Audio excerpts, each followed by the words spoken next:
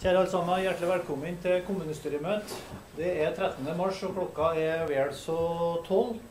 Tre minutter over 12. Eh, Vi sender som normalt på lufta. Det streames. Og jeg kan jo fortelle av den som kikker på oss der, at eh, kommunestyret har juksa litt i dag. Vi starta i 11-tida å ha opplæring for iPad. Så nå har vi tatt den nye tidsalderen innover oss, også i kommunestyret. Og eh, så langt takk til administrasjonen for god veiledning til oss. Så ser vi i hvert fall fort at her kan vi ha uante muligheter teknisk for å kunne øh, gjøre kanskje hverdagen for oss enda enklere. Så får vi se etter hvert som vi har fått øh, ny teknologi på veggen her med storskjerm og til og med gardinene er nye. Så skjer jo en del endringer her forhåpentligvis i positiv retning, der vi kan se anvendelse av teknologien for gjennomføring av kommunestyremøtene eh, framover. At vi får eh, f.eks. framlegg eh, skriftlige forslag som da sendes osv., som kan presenteres på skjerm. Det er jo noe vi snakka om i god stund. Eksempelvis noe sånt. Ellers så registrerer jeg at helga er over og at Nordfjellrennet er gjennomført. Så all ære til dem som har arrangert det med helklaff i forhold til vær. Det går ikke an å kunne få det likere når det syndene striregna. Så var det knallsol på lørdag. Jeg syns også det er nevnt er greit å merke seg at vi i dag, eh, i halv fire-tida i dag, får klassekviss klassequiz sendt fra Årdala. Tiende klasse går i, på lufta med NRK halv fire. Og så den som da har radioen attmed seg, DAB, DAB, så er det mulighet til å høre dem eh, i konkurranse med hvem vet, jeg vet ikke hvilke klasser vet du ennå. Ja. Det er bra. Vi starter i gang. Eh, vi tar opprop. Jo Morten Aune. Ja. Tore Nordfjellmark. Ja. Siv Åse Strømhilden. Ja. Jan Ståle Viken Flått. Ja. Johan Tertlin Selhaug. Ja. Trond Petter Ristad. Ja. Eivind Moa. Ragnar Prestvik. Ja. Per Ola Tyldum står her. Lene Lervik Klaumen. Ja. Bernt Harald Oppdal. Ja. Marit Haugum Moe. Ja. Hege Kristin Kvernø Søgen. Ja. Marianne Øysvold. Ja. Margrethe Skillås. Pål Kristian Kleven. Ja. Ola Landsem. Ja. Arne Flått. Ja. Mai Storøy. Ja. Anne Grete Sagmo. Eh, Forfall meldt fra anlegg Selag Asbjøl, og i stand møter Karoline Heia. Ja. Velkommen. Eh, Vi har med oss eh, Trond Stenvik, rådmann, stab eh, og hans folk. Så enkelt og raskt har jeg det samla. Da er vi 21. Er det noen som har merknad til innkallinga? Er det ikke?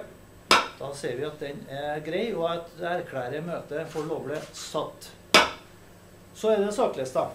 Den har med innhold i dag først en orientering fra MNA med daglig leder.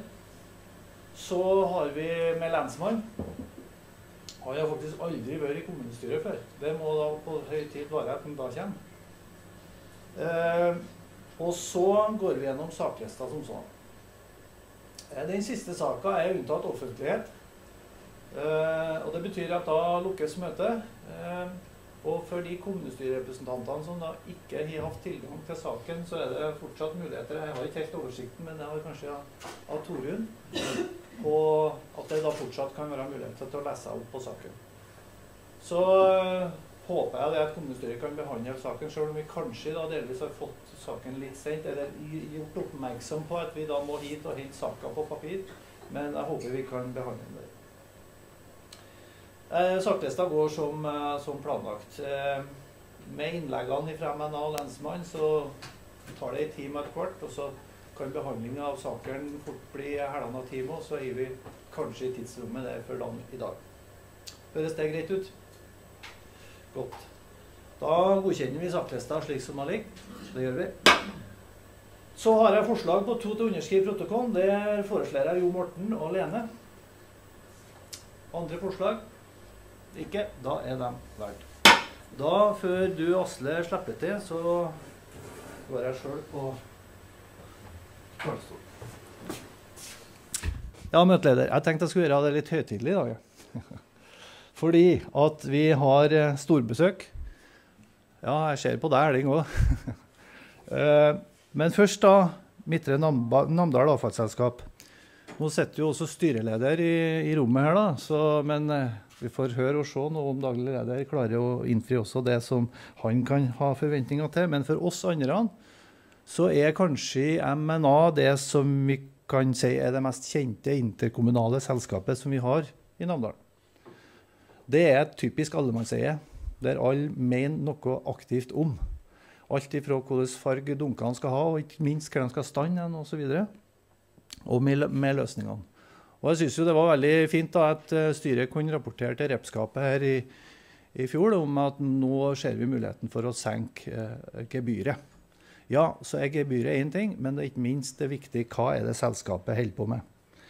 Men så skal vi merke oss at eh, vi snakker om Midtre Namdal avfallsselskap. Så sånn sett så er vi ikke samla alle i Namdalen. I hvert fall ikke enn så lenge. Og jeg vil også presisere og si at eh, MNA er et verktøy for kommunene, for abonnentene. Og ikke minst et verktøy i avfallshåndtering og lover og regler, som det etter hvert blir ganske mye av. Eh, men jeg eh, syns også det kan være greit å stille det spørsmålet, det har vi gjort i eiersida også, om at hvordan redusere eller minimalisere avfallsmengdene. Hvordan avfallsminimalisere. Det er en viktig bit som jeg tror vi skal ta inn over oss hver dag. Vi er gode på det i Overhalla med, med klima- og miljøplan, som sier mye om det. Så jeg skal introdusere nå daglig leder Asle Hasselvold med at søppel har kommet til å bli et verdifullt avfall. At deponi, da vi la i haug for noen og 30 år siden, i dag er logistikk, sortering, energiutnyttelse. Så da introduserer jeg dagleder Asle Hasselvold. Vær så god. Ordfører i kommunestyret, tusen takk for flott innledning. Ja, MNA ble etablert i 1979, og nå skal jeg da fortelle om selskapet på 20 minutter. Så er vi veldig overordna. Jeg har satt av litt tid til spørsmål til slutt, så benytt gjerne muligheten. Som alle andre selskap så har MNA et formål. Dette formålet er vedtatt av 13 kommunestyrer. Vi har fått et enkelt oppdrag. Jeg er litt rastløs, Thomas. Det hender seg slyng litt av gårde her, men det får dere nå tåle. Vi har i oppdrag å samle inn og behandle avfall. Det er jobben vår. Enkelt og greit. Ja. Men så er det lagt med noen føringer. Vi skal gjennom samfunnsansvarlig virksomhet arbeide målbevisst for å oppnå miljøriktige og økonomiske gunstige løsninger. Her er det litt vanskelig. Det er sånn at å drive økonomisk og miljøriktig, det treffer hverandre litt i døra. Så må vi prøve å finne den gode og smidige løsninga som passer for de aller all fleste av innbyggerne i våre områder. Det bruker vi mye tid på. Vi er styrt etter en lov som heter for lov om interkommunale selskaper. Eh, og vi har noe som heter en tildelt enerett for husholdningsavfall. Det betyr at de her 13 kommunene så det er bare MNA som har lov til å samle inn husholdningsavfall. Så de andre selskapene som holder på med avfall i de i områdene og i kommunene, de jobber da med næringsavfall. Byggavfall og næringsavfall. Fungerer stort sett veldig bra, akkurat dere. Ja, nå ble det jo nevnt at de her eh, tre kommunene eh, øverst på toppen her, som mangla på nyttårskonferansen til fylkesmannen, de er borte her òg. Eh, vi jobber med dem, og vi tror at de skal bli sammen med oss i løpet av få år. De ser at å være med med MNA det, det løser mye av utfordringene de står oppi. Lovverk er nevnt, men òg det med å finne de gode løsningene rundt innsamling og behandling.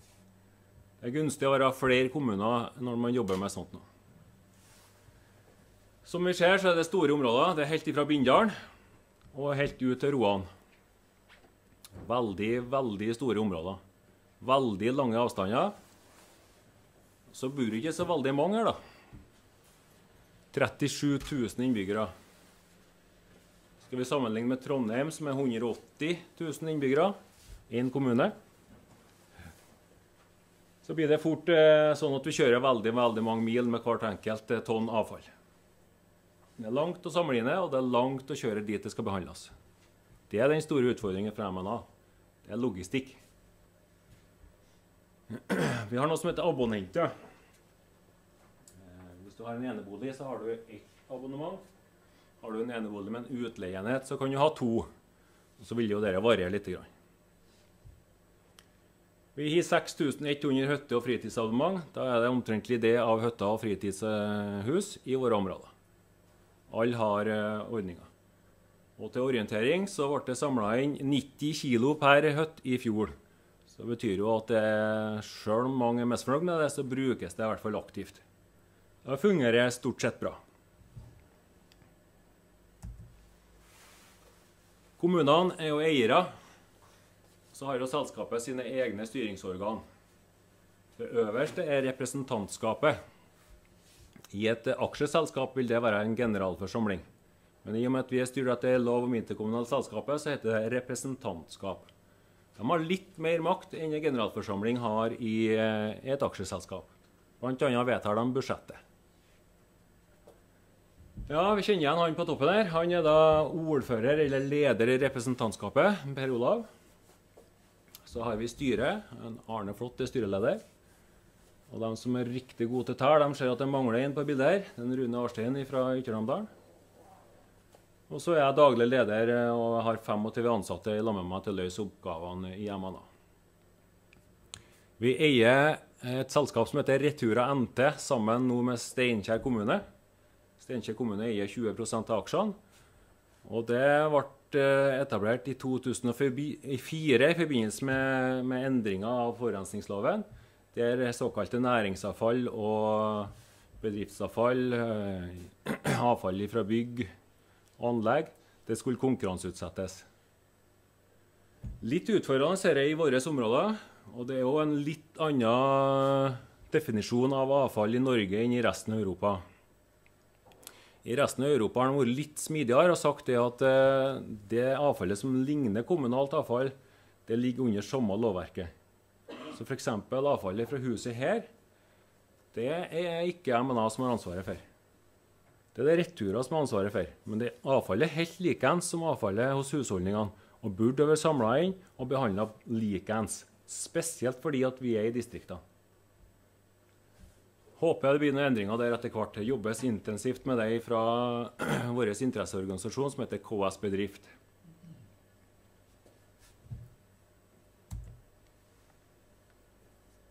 Avfallspyramiden, eller avfallshierarkiet, heter denne figuren her. Han, han er en figur som illustrerer prioriteringene i avfallspolitikken. Avfallspolitikken i Norge han styres av noe som heter et, et rammedirektiv fra EU.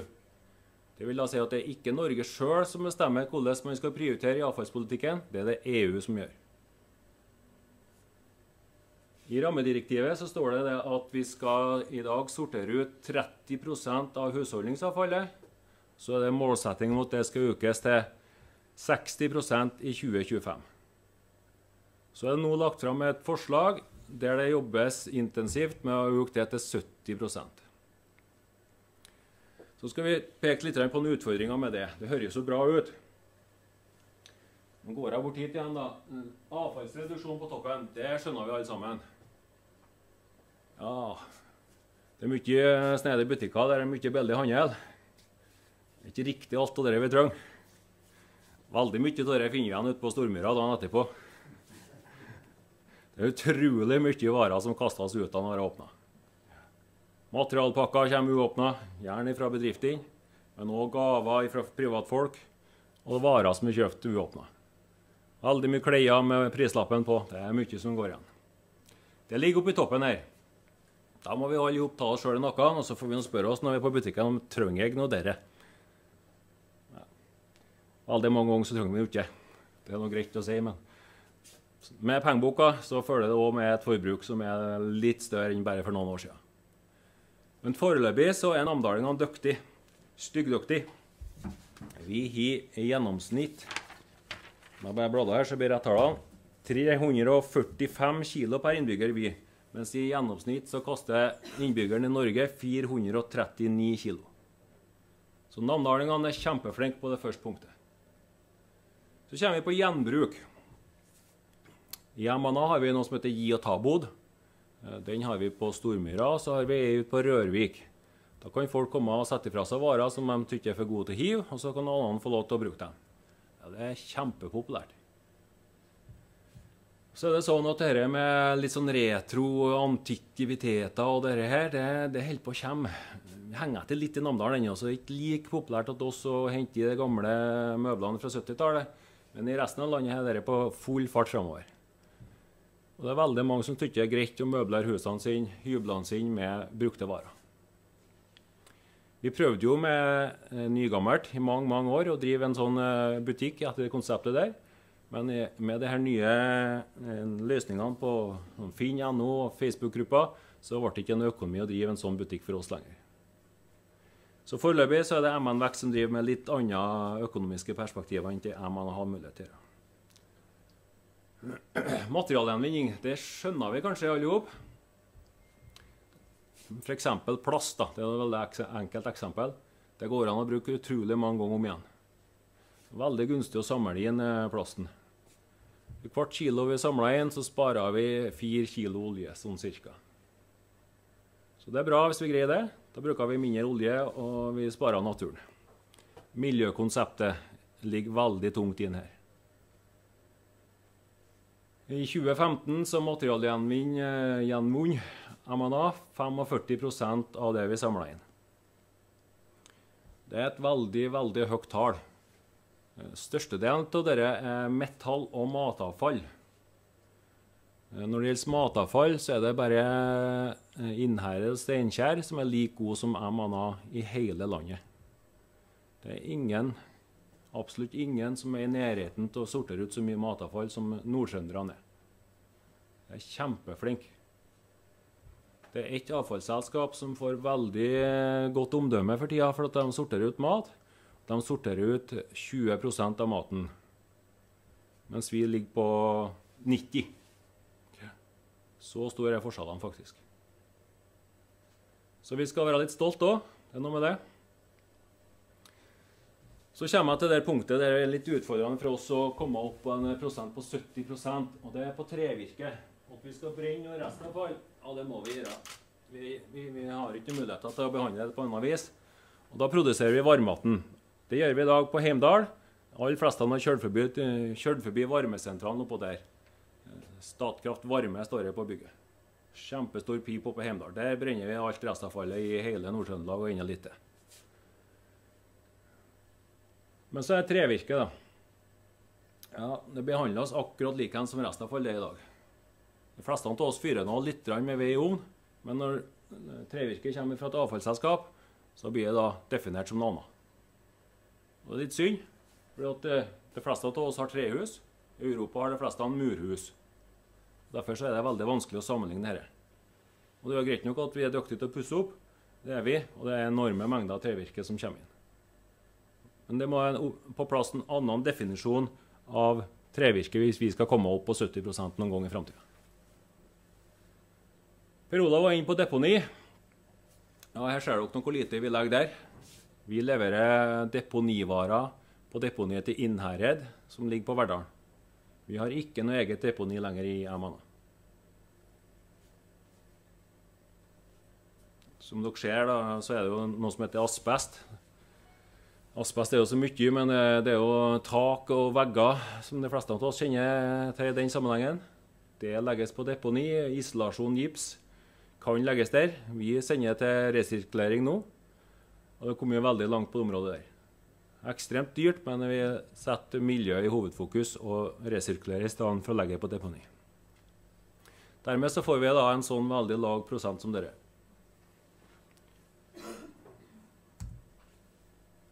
Litt mer om MNA. Avfallsmengdene. De er øverst til venstre. Det er kanskje litt smått. Men pila ser dere nå i hvert fall. Jeg starta på i 2013.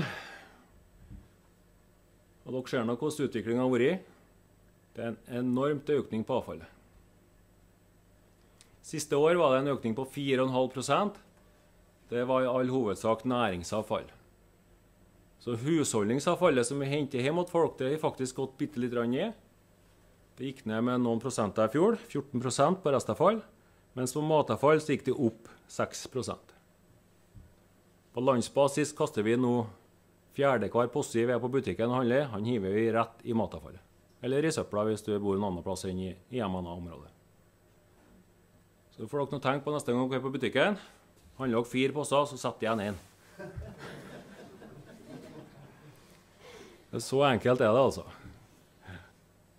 Det høres rart ut, men uh, dette er gjennomsnittstall for hele landet. Klart Noe skal vi gi av matavfall òg. Men når vi kikker på matsvinn, så er det stygge tall. Altså Matsvinn det betyr altså etbar matavfall. Så har vi kjempestygge tall. Ja, det var matavfall og avfallet. Antall abonnenter virka jo rart, da. All den tid at vi bor i et område der det blir litt mindre og mindre folk. Men uh, det bygges mye leiligheter her.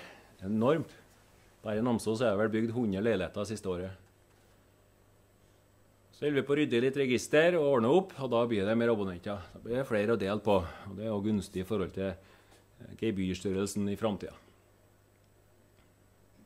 Så skal vi få lov til å skryte litt av oss sjøl, og det er den øverst til høyre. Det er noe som heter for klagefrekvens. Eh, det er sånn at eh, hvis renovatøren, han som kjører avfallsbilen, renovasjonsbilen eller søppelbilen, kaller noen det òg, og ikke henter avfallet til meg, så kan jeg ringe og klage til MNA. Da blir det registrert her.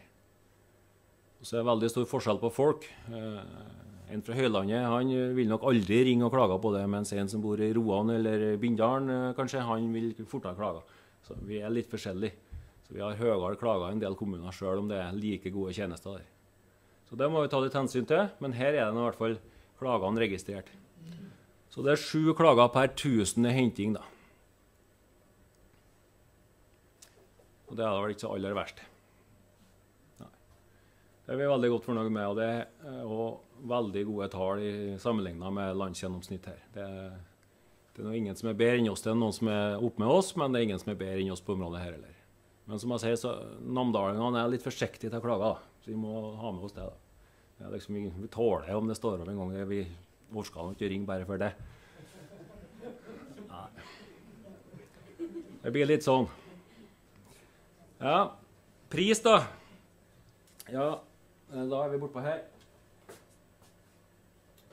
Vidløfte ord som heter sjølkost. Det koster i grunnen det det koster. Eh, eller det koster det det koster å drive. Og så skal vi fordele de pengene på det antall abonnentene. Jo, klart, jo mer avfall jeg hiver, jo dyrere blir det å samle inn og behandle det. Det er nå en gang sånn det er. Og så Dessverre for oss da, så stiger òg behandlingsprisene. Og dermed så stiger prisene på gebyret. Nå har vi greid å, eh, I 17 ser dere et lite knepp ned. Men vi må ta hensyn til at da reduserte vi servicen. Nå henter vi matavfallet hver 14. dag, og ikke hver uke som før. Og Det er òg en av grunnene til at vi greide å sette ned gebyret. Bakgrunnen for at vi gjorde den endringa, er at vi ønska at det skal bli likt i hele Nord-Trøndelag. Så nå er det det. Innsamlinga av Nord-Trøndelag er helt lik. Og så skal jeg vise en eh, figur litt senere som viser at det er litt forskjeller mellom uh, ulike avfallsselskap og kommuner. Mange er jo interessert i hva man har brukt pengene på. Kanskje litt smått der òg, men i den figuren til høyre så står det at vi har en omsetning på 78,9 millioner. Så har vi noen inntekter. 63 millioner i gebyrinntekter. Da er vi både på husholdning og hytte og fritid. Der får vi inn det aller, aller meste. Så det er sånn at noen næringsselskap, Retura NT, Norsk Gjenvinning, eh, flere selskaper leverer avfallet til oss. Og Da tar vi betaling for det. Og så er det sånn at F.eks. plast det kan vi selge. Papp, papir selger vi. Da tjener vi noen kroner på det. Og Så har vi et resultat i bunnen her. Der er jo budsjettet vårt.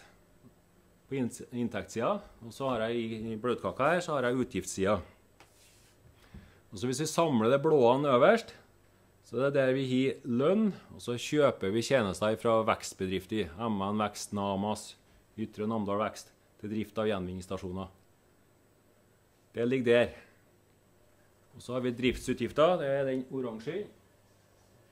Her har vi leasing av kjøretøy, diesel, reparasjoner, daglig drift. Og så har vi to store poster igjen her. Den ene heter transport. Det er sånn at Vi må nå hjem til folk og hente varer, og så må vi sende videre. Vi henter fra gjenvinningsstasjonene, og vi kjører det videre. Det ligger der. All transporten ligger der. Og så er den aller, aller største delen på kaka det er den som heter ekstern behandling. Og den aller, aller største delen der igjen det er da eh, forbrenning av restavfall. Den er ganske dyr. Og likeens behandling av matavfall er ganske dyrt. Så sånn er hovedbudsjettet i MNA. Og så er det noe som avisa syns er artig å skrive om, og det er gebyrstørrelsene. Det er like artig hvert år, det. Å sammenligne mellom selskapene og kommunene. Og det er jo bra, det. Det er jo viktig å måle seg mot de andre. Så er det sånn at det, det tall har aldri vært et tall, og det kommer sikkert aldri til å bli det heller. Nå skal jeg prøve å forklare hvorfor det er så store forskjeller i prisene. Hos MNA så er det da en variasjon i mellom 4600 og 5172. Og Det er da det kommunale påslaget som kommer inn der. Noen av kommunene har et stort kommunalt påslag fordi at man har store kommunale utgifter som man har lov til å legge på i forhold til gebyret på renovasjon. Så det varierer mye. Og Så kan vi sammenligne med Trondheim f.eks., som man alle år har trodd skulle drive så billig. Så ser dere at de er ikke så veldig langt unna MNA, dem heller. Her er ikke fri levering på se. Nå går jeg hit igjen. Det står nei her nedi. Det betyr at det ikke er fri levering. Hos MNA koster i dag fri levering 600 kroner per abonnent. Så hvis vi legger på 600 kroner i Trondheim, da, så er vi på 4007. Ja. Men så har vi Steinkjer, da. Hva de gjør som ikke vi gjør. Se der. De har 3375, de. De henter det samme som oss. Kjører likeens som oss. Hva i verden kan det være? I hvert fall hvis avisa skriver om dere, så, så ja, da kommer de godt fram. sant? Det er dette tallet som står i avisa. 4600 i MNA, eller i Overhalla om dere vil, og 3375 vil det stå om Steinkjer. Det er de tallene vi får presentert. Ja. ja, men det er jo bra, det. Dyktig Steinkjer. Ja, det er det. Men hvorfor er det sånn, da? Ja, de som kjører forbi Steinkjer, de ser det at avfallsbeholderne, dunkene, de står på veiskuldra. Hvis de skal ha samme servicegraden som oss, på 20 meter, og så må du som abonnent i Steinkjer betale 1312 kroner ekstra. Så det er sånn at mange av oss bor nå på en vei som er privat. Altså at det må kjøres på en privat vei for å hente avfallet vårt. I Steinkjer må du da betale 687 kroner for at de helt tatt skal orke å kjøre på veien din. Så kan vi begynne å legge opp. Ja. Så kan dere nå legge opp sjøl. Det ser ut som om man har fryktelig kostbart eh, gebyr. Men se nå på påslagene bortover. da. Det står 0, 0, 0, og så står det ja. Det har vært intensjonen fra styret og fra eierne hele tida om at vi skal ha et enkelt gebyr som er forståelig. Om det er rett eller ikke, må nå tida vise, men vi tror det er rett. da. Og Så må vi da tåle at det en gang i året kommer i avisa og så blir det presentert at i Overhalla kommune det er gebyrene dyr, altså. Herregud. Men nå vet i hvert fall dere hvorfor det er sånn, da. Mm. Ja. De er ganske like gebyrene hvis vi begynner å slå dem ihop her. Dere kan jo finrekke dem litt sjøl hvis dere vil, men de er ganske like. Det er jo ikke så rart. Vi bor jo i distriktet, alle disse kommunene her. Vi bor i distrikt. Så har Trondheim har sine ulemper, dem òg. Er forferdelig å bare kjøre inn i byene i bakgårdene. Kjempeproblemene i, i Oslo nå. Veireno måtte kaste kortene og si at vi får ikke til. Ja, er bakgårder, trange gater, kø. Det er da ulemper, det òg. Det er ikke bare å kjøre langt som ulemper. Og Så jammer seg sånn noenlunde ut, og så blir gebyrene sånn omtrentlig det samme. OK. Skal vise noen bilder òg. De aller, aller fleste av oss har det samme løsninga som en Per Olav har. Jeg har ikke tatt bilde hjemme hos. Jeg er gammel. Ja, selvfølgelig gammel. Så du er litt i hammeren og Det er bra.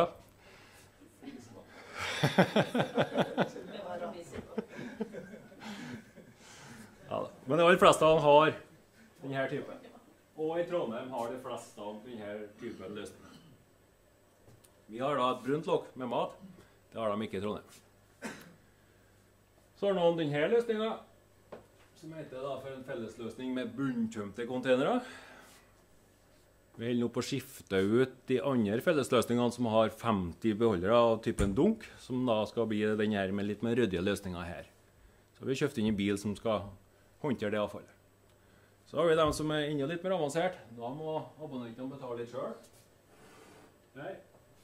Nedgravde løsninga. Og den eh, folk ønsker å ha nå inn i framtida. Alle som bygger nytt nå, de vil ha den. Da må det nesten være 25 abonnenter lag. Helst 50, men i hvert fall 25. Da blir avfallet under bakkene. Hytterenovasjon. Mange har sikkert sett det, så det sier jeg ikke så mye om. Det er litt av de bilene vi bruker. Ikke alle som er like interessert i biler, men klart de som jobber med renovasjon, de er interessert i biler. Litt fancy øverst til venstre, da. Sånn tømmer man en hytterenovasjonscontainer. Han løfter opp hele containeren. Og Så ser vi hvordan man tømmer den nedgravde containeren for å se vidt den overflate bunntømte containeren.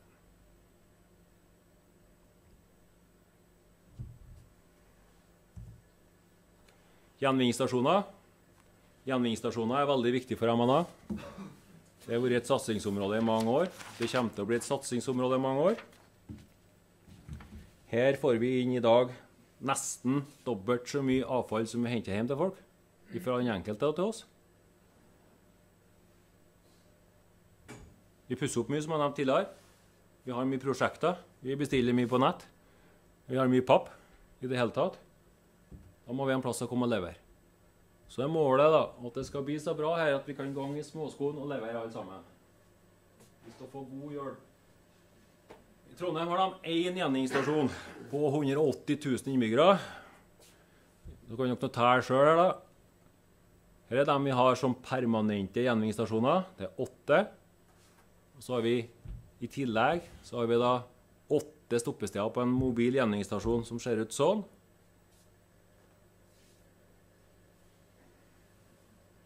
Står det en vanlig renovasjonsbil, og så er det to containere. Er innsamling av landbruksplass, det har ikke noe med saken å gjøre, men det er noe der. Så kaster man avfall på lik linje som dere gjør når dere er på Stormyra.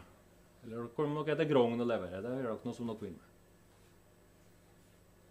Så sånn greier vi å tilby en god løsning i distriktene våre.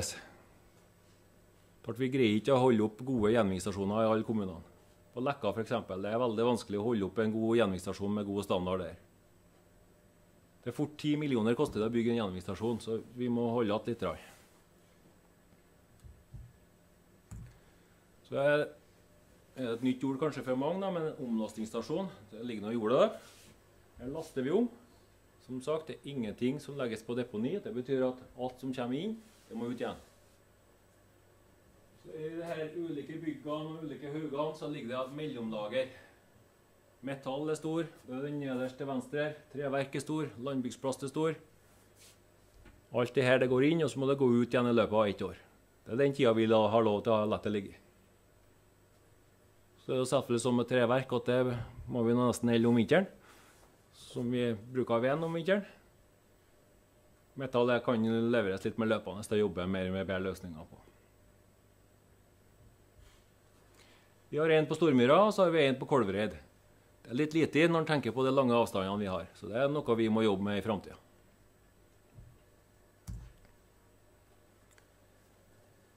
Så har vi selvfølgelig faguttrykk i avfallsbransjen òg. Nedstrøms liker vi å kalle det. Oppstrøms det er inn i benken min hjem. Nedstrøms det er der vi får behandla avfallet. Her var den Statkraft Varme som jeg nevnte. Den kjører forbi, eh, vi forbi når vi kjører opp på Heimdal. Der brennes det på hundrevis av tusen tonn restavfall. Norske Skog Skogn kjenner vi. Der leverer vi både treverk og vi leverer papir til gjenvinning. Treverk brukes da til å varme opp og få ut vannet fra tømmeret Hans Reidar f.eks. Bruker det gammelt treverk til å varme opp og få ut vannet der. All den dampen som kommer opp der. Ekopro er jo et industrieventyr som vi alle sammen er medeiere i. Her behandler vi matavfallet, lager foreløpig strøm. Etter hvert så blir det laga eh, biodrivstoff, biogass. Og så blir det gjødsel av det som er igjen. Som spres på dyrka marka.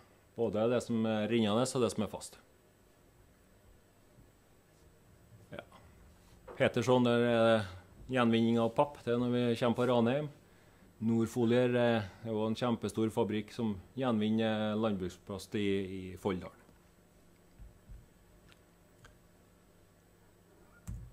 Her er sisten. Selv om vi, vi, bor i Innlandet, mange av oss, så kjenner vi igjen utfordringene med strendene. Vi har gjennom mange år hatt uh, strandryddedagen og egentlig strekt den over for mange måneder. Der vi bruker en del av overskuddet på næringspengene våre til å samle inn eh, avfall fra strendene. Det er selvfølgelig åpna sånn at det går an å rydde langs elva og langs et eh, vann hvis man ønsker det. Og Så melder man seg på enten gjennom kommune eller MNA, og så får man hente avfallet. En kjempegod ordning. Nå til sommeren er det tre eller fire kommuner som greier å få med seg oppdrettsnæringa på å betale sommerungdom til å rydde strender. Da får all sommerungdom som melder seg på, tre ukers betaling mot at de rydder strender. Og så er det MNA da, som samler inn avfallet. En kjempeordning. Det er viktig for framtida at vi tygger på den, sjøl om vi bor i Overhalla. Ja. Da skal jeg gi meg.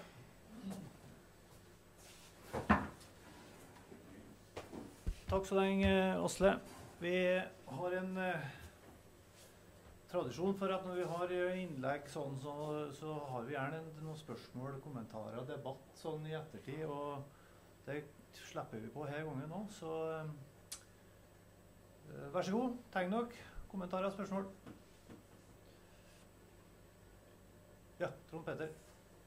Hit. Er det sånn? På plass? Beklager.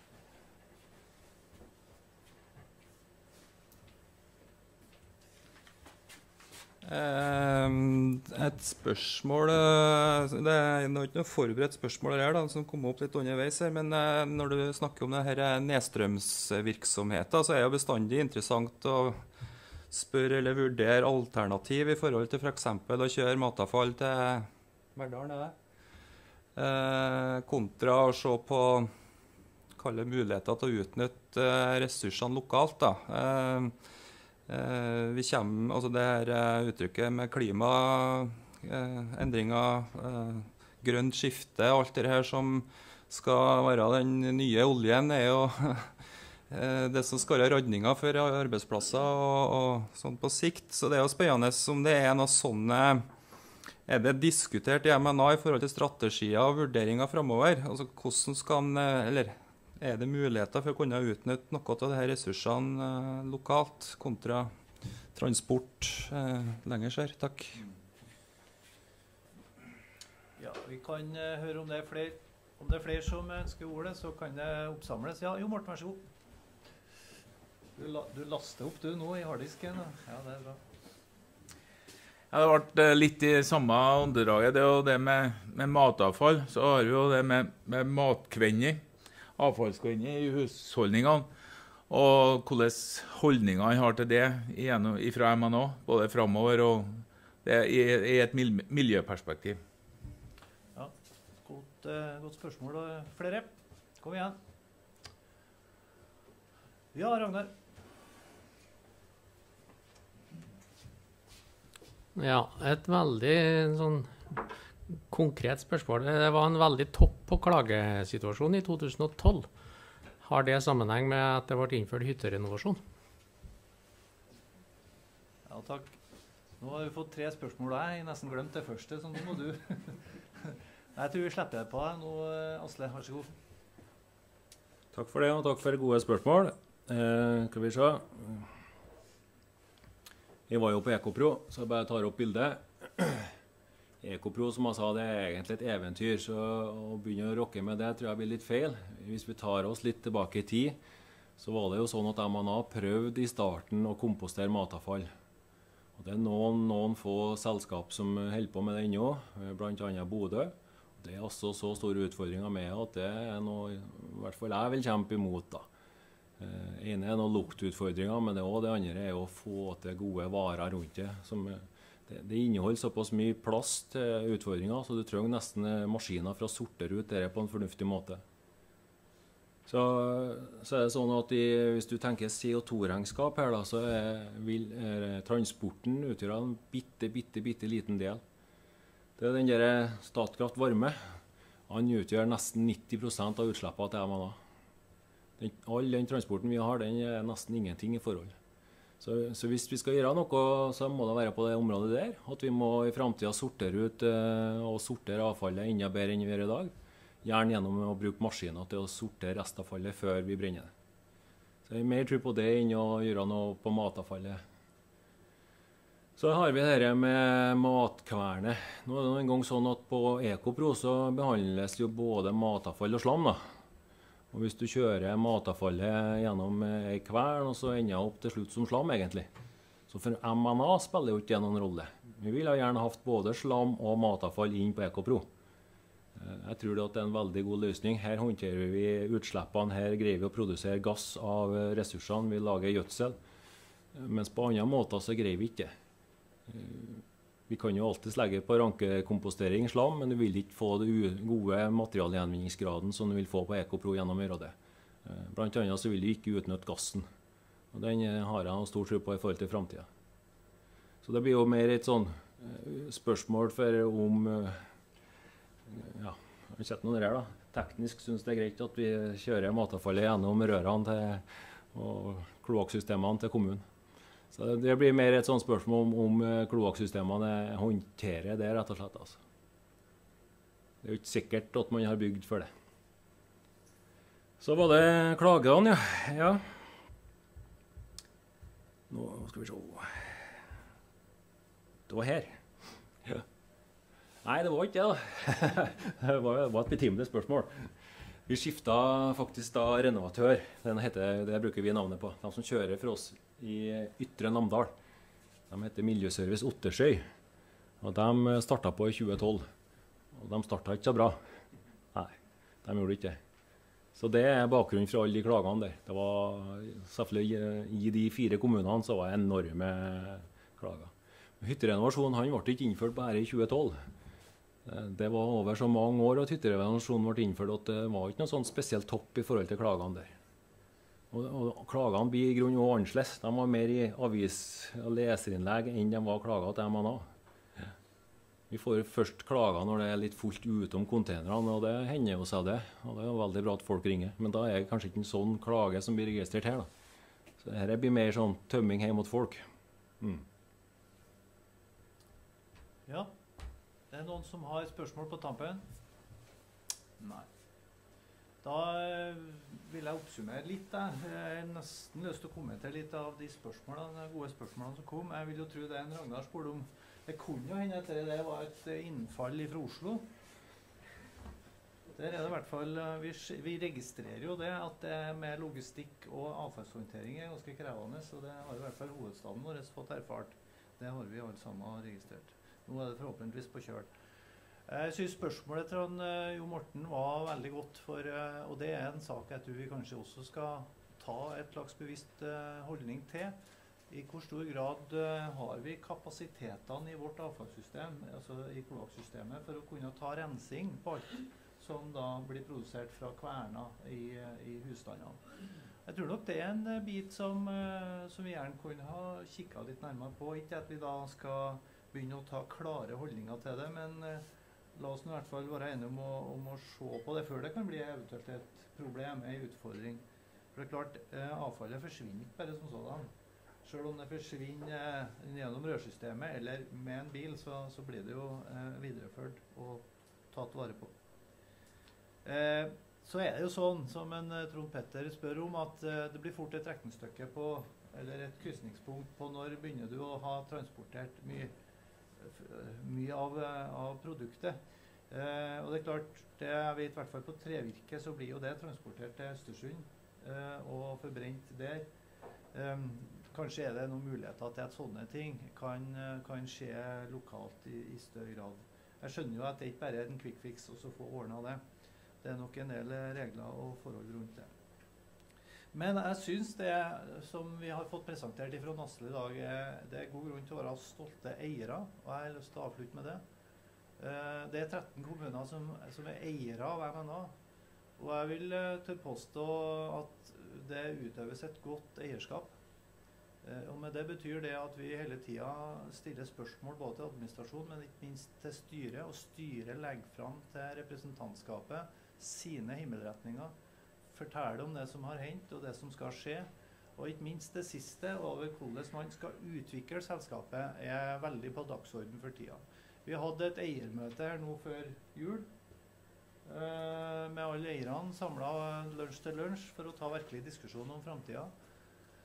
Styret kommer tilbake til representantskapet i løpet av 2017, kanskje 2018. eh, Det er ikke helt låst på hva, hva styret ser for seg for videreutvikling i å ta, eh, ta det her fagområdet her skikkelig i bruk. Vi må huske på at for over 30 år siden da har vært etablert, så ble det lagt i deponi på Stormyra. Den tida er forbi. Vi legger ingenting i deponi lenger. Vi skal huske på det at vi har et, et lager med et lokk på som ligger der forever, men at det er gode systemer for å observere hvordan avsiginga av det deponiet foregår. Og Det er jeg veldig glad for å se at MNA er vedkjenner seg den historien og passer på det deponiet som da ligger der. Men i dag som sagt, så er det logistikk. Man, eh, man eh, kjører inn med bil og kjører ut med bil, og det blir en litt annen bit. Takker veldig for eh, bra informasjon til oss, Asle. Så har vi gjort denne runden for denne perioden. Kanskje kan det være dags å ta den en gang senere i perioden, men så langt så er vi godt fornøyd. Tusen takk. Vi gir en applaus for det. Eh, da har vi satt av, i hvert fall mange av oss, her siden klokka var 11. Jeg foreslår vi tar en pause nå. Eh, håper lensmannen har tida til det. Eh, og så forsyner vi oss med litt mat. La oss si at vi tar et eh, kvarters 20 minutts pause. Møtet hevet. Leder, eh, en introduksjon også til neste innleder. Lensmann har eh, lange tradisjoner i Århalla, på godt og vondt. Håper forhåpentligvis mest på godt. Eh, vi kan si at tjenester betegnes som eh, høyst handlekraftig og løsningsorientert. Jeg tror vi skulle ha gått gjennom generasjoner av lensmenn som har vært i Århalla. Så skulle vi skrevet bok.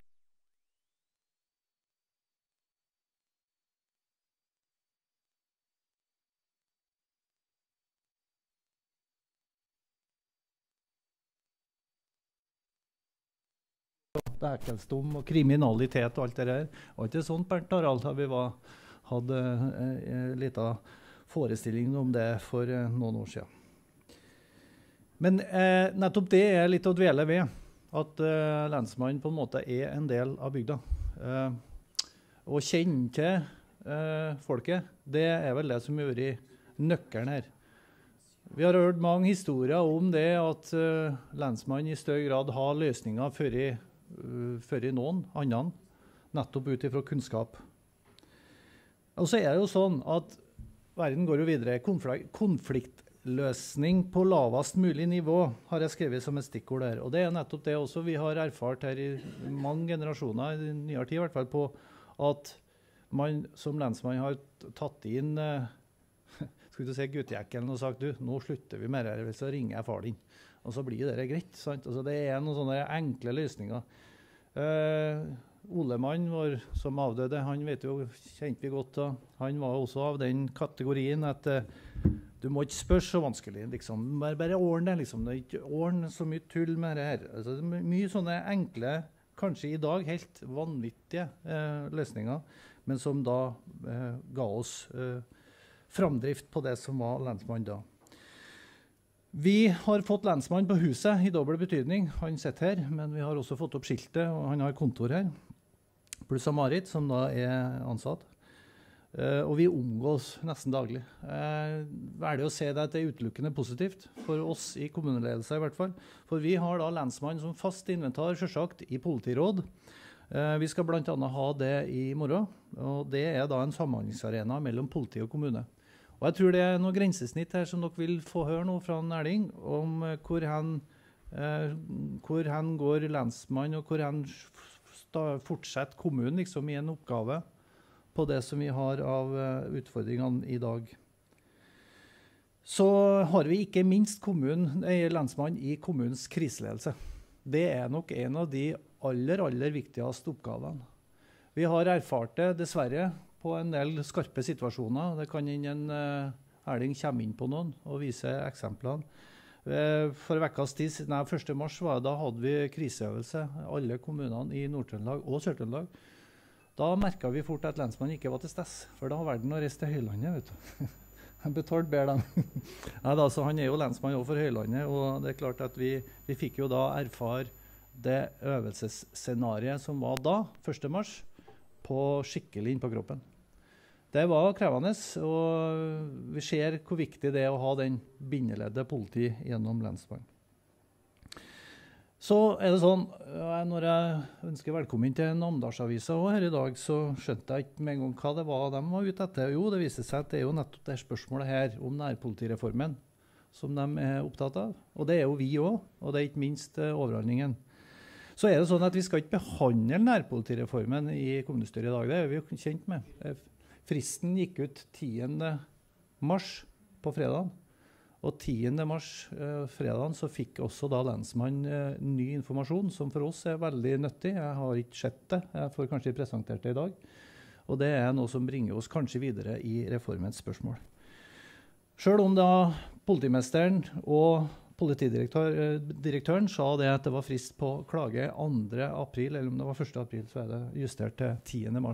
Sånn sett så ble det litt knapt, men formannskapet behandla det innenfor hasteparagrafen. Eh, på siste formannskapsmøte. Så ble den klagen vår som ble sendt inn, ble avslått. Uh, og det kan noe av begrunnelsen ligge her nå til det vi får høre fra Næling. Og, men hvis ikke så skal vi også be rådmannen vår om å dra oss litt kort på historikken i hva som har skjedd uh, siden vi leverte den.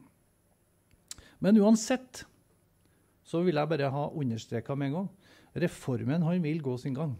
Og det skal vi velge å se offensivt på. Men lell vil vi da be lensmannen om å redegjøre for, eller gi oss noen tanker på hvordan han ser for seg reformen eh, og, og utviklinga her i Overhalla for det som, eh, som, skal skje i lys av reformen. Derfor har han fått to, eh, fått to oppgaver. Én hva kan vi forvente oss i lys av reformen? To lensmann tar pulsen på Overhalla. Ja, Da får vi det svart på hvitt skal jeg si, fra lensmannen, hvordan han oppfatter generelt bildet i Overhalla. Så ta godt imot lensmannen i Overhalla og Høylandet, Erling Lundstadsveen. Ja, ordfører, kommunestyre. Det var det jeg var eh, opplært å si. Jeg har aldri vært i kommunestyret før, så det var eh, gledelig. Det er den 13. i dag, eh, og klokka er snart er over ett òg. 13. Det er ingen dommedag. Det kan jeg trygt si med en gang. Takker for at jeg fikk komme. Jeg har jo vært lensmann her i tolv år snart. Snart den lengste lensmannen som har vært i Overhalla. Eh, det har vært noen flågene før meg, men eh, de har nesten ikke sittet så lenge, dem. Eh, så jeg føler at jeg har en rimelig oversikt over hvordan tilstanden er. Han, per Olav snakker om historien her, og det vet alle at det er utgitt bøker. og Det skjer litt av hvert i Årala. Det gjorde det, som dere kanskje har lest, i rundt uh, eh, 1905. Da en lensmann ble tatt av dage. Og det er ikke skjedd så veldig mange sånne i uh, historien i uh, Norge. Så det har vært litt av hvert som han har vært utfordret på. Jeg skal i foredraget her Si litt om eh, politireformen, status, eh, eh, litt veien videre der. Jeg skal si litt om ståstedet når det gjelder kriminalitet i Overhalla, og eh, litt om den sivile rettspleie som vi er litt utfordret på i Overhøyda. Eh, som sagt, så tolv år eh, så drar jeg litt sånn historisk perspektiv. Eh, jeg kom hit i 2005, og før den tid så regjerte flågans lover i Overhøyda. Og det Den uh, lovene der, det er ikke å uh, ta, sette til side, fordi det har mye for seg. Jeg har lært meg opp gjennom tida at det er faktisk en del du kan gjøre uten at du trenger å gjøre det så utrolig vidløftig.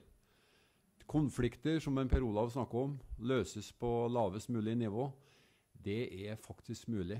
Og det er det kanskje litt trist, tror jeg, da, eh, framtida, med lensmannsinstituttet, som jeg tror har en veldig stor betydning for akkurat det betydninga å løse konflikter på lavest mulig nivå. Uh, det uh,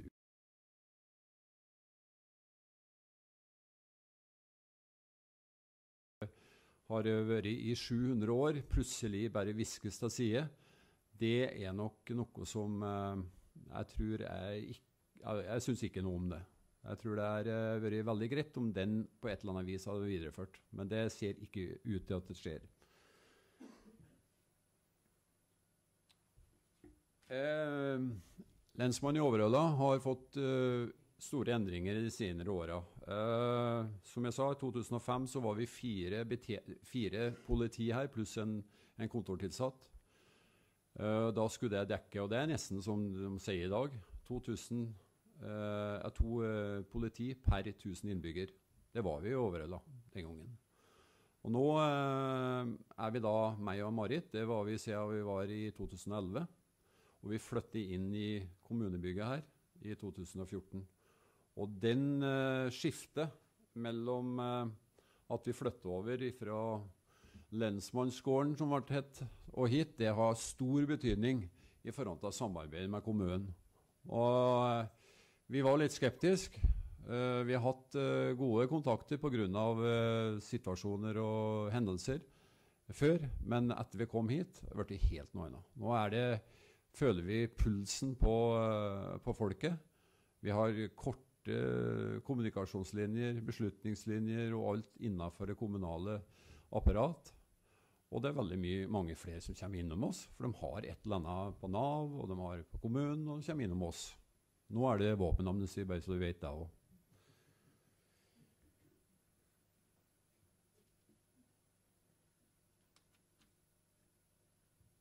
Uh, enkelte episoder skal jeg, skal ikke komme inn på her. Jeg hører at den er streme, men vi vet, bare for å illustrere hvordan vi, den kommunikasjonen der og det samarbeidet vi har, så gjør det at uh, er det et eller annet, så har du nummeret nesten i bakhodet. I hvert fall så har du dem på telefon.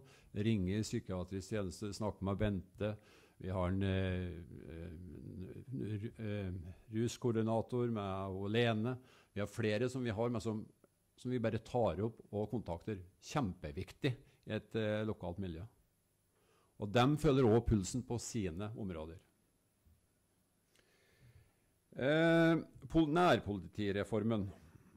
Dere kjenner jo eh, at eh, bakgrunnen for den Nå er jeg litt usikker på hva den heter. Om den heter politireformen eller nærpolitireformen. Det har vært noe versering på det, men vi holdes til nærpolitireformen. Og eh, dere kjenner eh, hva som er bakgrunnen for den. Det er ikke å legge skjul på. Altså vi, de, de, de, fire punktene her med internasjonalisering, det sier seg sjøl. Vi har blitt mange flere fra, som kommer hit, og ikke minst har vi det i Overhalla. Eh, veldig mange som har kommet og arbeider her, kan si at eh, jeg har ikke oversikt over hva slags bakgrunn de har, før at de eventuelt ramler borti et eller annet. Da blir jo det sjekket opp. Eh, vi har befolkningsutvikling. Sånn er det i Overhalla, sånn er det mange andre plasser. I hvert fall at vi blir, blir flere eldre.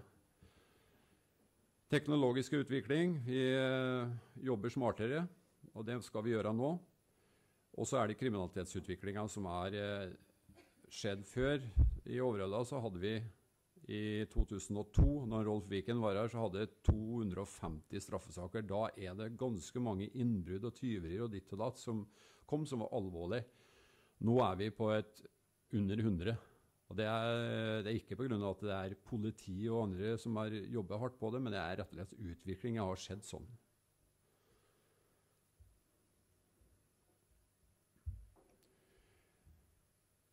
Denne politireformen den skal være um, en nærpolitireform. og um, Vi ser her at uh, vi skal være lokalt tilstedeværende. Jeg kommer litt tilbake til det, for det kom litt nå i forbindelse med politikontakten, som vi kommer tilbake til, som skal erstatte da, den lokale politi-lensmannen. Og Her ser de at eh, i avtalen så er det da at vedkommende skal ha gode lokalkunnskaper og ha eh, god kontakt med både lokalsamfunn og, og innbyggere. Eh, I dag så utøver ikke jeg heller ordenstjeneste her i helgen og kvelds-natt. Det gjør jeg knapt nok på dagtid. Det er jo heller ikke veldig mye av det. Men når, når det skjer på dagtid når jeg er her, så blir jeg utfordret på det. Men i dag så er det sånn at det går en telefon inn til operasjonssentral. Hvis dere ringer 112 eller 028 100, så det, havner de på Steinkjer. Og eh, fra 1. i, nei, 27.9. så havner de i Trondheim. Og det kan være en uh, utfordring, det. Uh, da er ikke dermed sagt at det er et, på sikt at det er så veldig mange som kommer fra Overhalla, som jobber i Trondheim. Så nå, noen har et problem en eller annen plass i distriktet, så trenger vedkommende overhodet ikke har vært kjent med hvor det er henne. Nå har vi gått over til andre adresser, så nå finner vi det fram.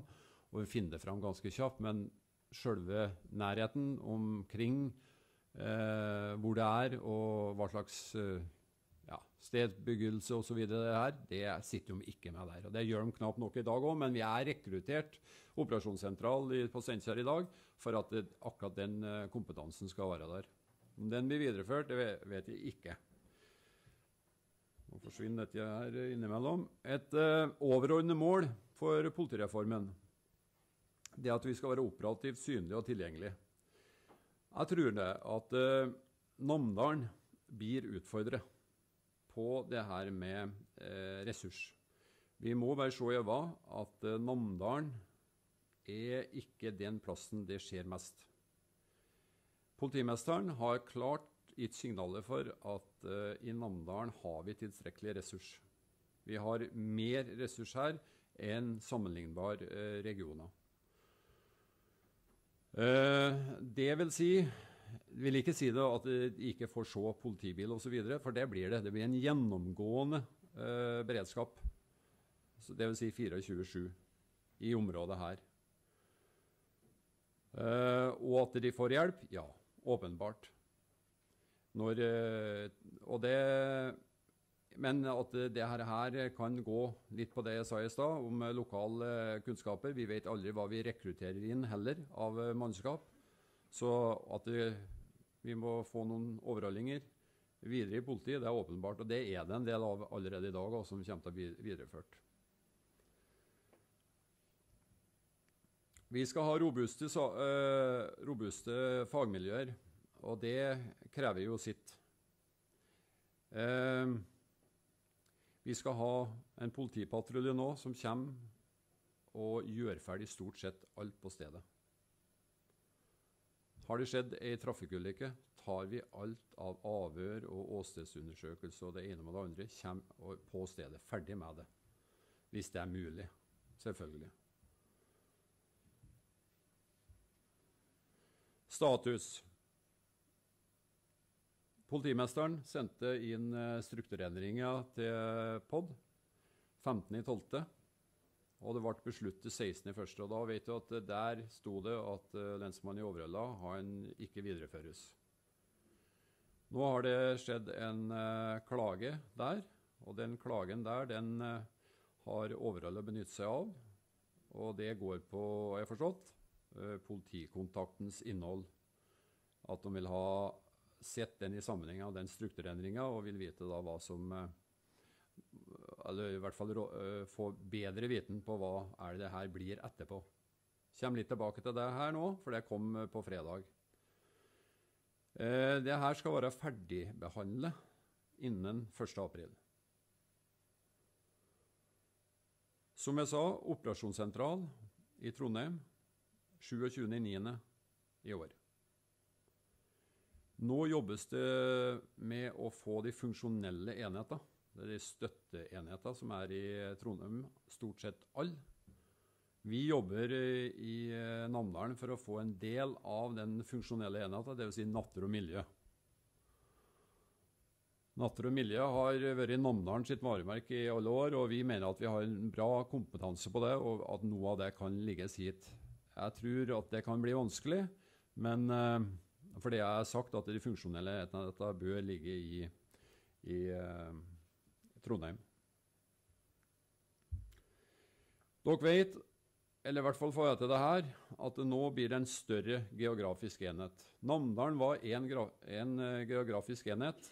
Nå blir vi en større. Nå blir vi sammen med Innherred, foruten Stjørdal. Det vil si at uh, driftsenhetsledelsen vil sitte på Steinkjer. I dag sitter den i, Nam i Namsos. Da er det sånn at uh, den som sitter som driftsenhetsleder, får alle uh, fullmakter innenfor personell og ressurs. Det blir uh, en, en politistasjonenhet, kaller de det, i Namsos for Namdalen. Eh, og så blir det tre tjenestesteder i tillegg. Lierne, Grong og Nærøy på Kolvereid. Om det blir noe Hva som ligger på det tjenestestedet, det er ikke helt klart. Hva som skal ligge der. Det er ikke sagt noe om noe hierarki der. Neppe at det skal noe, eh, brukes mye på ledelse. Og da blir den ledelsen for, eh, for Namdalen blir da første rekke på Steinkjer, med noe i Namsos. Alt av eh, eh, hovedfunksjoner vil ligge sannsynligvis på Steinkjer i driftsenheten. Så det er driftsenhetslederen da, på Steinkjer som blir da den personen som i dag har forpliktet seg i forhold til Namdalen. Når de har hatt eh, Namdalsråd, så har det vært den som har vært der. Og Her ser de Namdal politidistrikt, nei, stasjonsdistrikt. Det er så mye betegnelser her, men eh, nå heter det da altså Namdal politistasjondistrikt.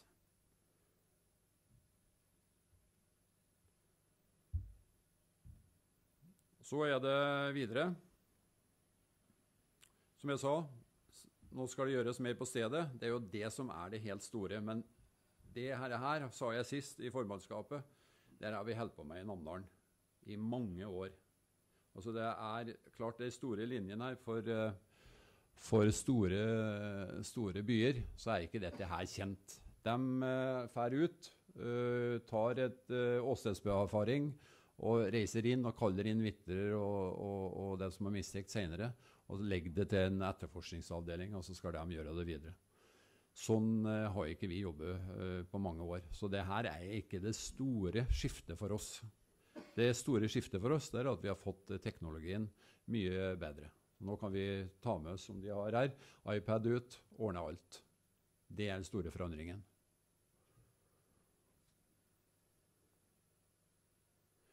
Politikontakt skal inn. Det står litt om politiråd, det har vi innført. Og etterforskningen blir da langt mer kompetanse og kvalitet. Vi skal samle det her. Og jeg, tror nok at eh, storeparten av kompetansen vil sitte i driftsenheten på Steinkjer. Selv om, eh, om noe av, av spesialkompetansen kan sitte rundt omkring, så er det det som er utgangspunktet. Det er politikontakten. Her er det bare innspill som har kommet fra ulike eh, kommuner og, politi internt. Jeg er ikke så sikker på om jeg skal uh, si noe mer om det, for det her kjenner de til. Uh, og det er mye av det her er inne i bildet, men det jeg syns jeg skal vise dere, det er det som kom på fredag når det gjelder politikontakten.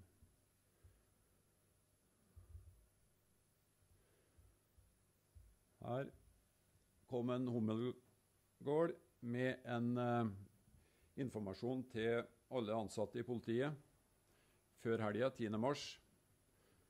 Før sommeren skal alle norske kommuner få sin egen politikontakt. Politikontakten skal sammen med den enkelte kommune jobbe med forebyggende politiarbeid lokalt. Uh, og det, Her er det listet opp. da, Forpliktende avtale med kommunen skal vare i kommunen én til tre dager i uka. Han uh, skal jobbe sånn som vi gjør i Overhalla i dag. Stort sett så er det det som lensmann gjør i dag. Jeg føler det er oppramsa her. Og han skal i tillegg eh, ha kontakt med nærlig, være nærlig, næringslivskontakt. Det her er eh, noe, og det her skal rekrutteres før sommerferien i år. Så det, er, det er akkurat det som kommunen her er etterspurt. Så det her er en forpliktende sak. Eh, det jeg er opptatt av her, det står det ingenting om. Det er det vi snakker om. Hva slags fullmakter skal den politikontakten få? Og som lensmann så i dag så er jeg på nivå to, som vi sier. Jeg tar også eh, rapporterer til politimesteren. Dvs. Si at jeg har alle fullmakter. Jeg kan ta en beslutning og jeg sitter i politiråd eller i annen sammenheng og si at sånn blir det. Hvis en politikontakt i framtida blir en person som eh, ikke har den type Selvfølgelig må det jo være beslutninger som en uh, vet at en kan ta, da, og ikke sånn at uh, dette her er over hodet på en sjøl. Men sånn er det i dag òg. Men hvis det for framtida er sånn at du må løpe til nærmeste leder for å høre om du får lov til å gjøre sånn, da tror jeg den politikontakten utspiller sin rolle. I hvert fall for, for sånn jeg ser det. For da forplikter du deg ikke eh, i forhold til ting og tang som blir tatt opp i kommunen. Så hva slags fullmakter som ligger her, det tror jeg er litt spennende å se.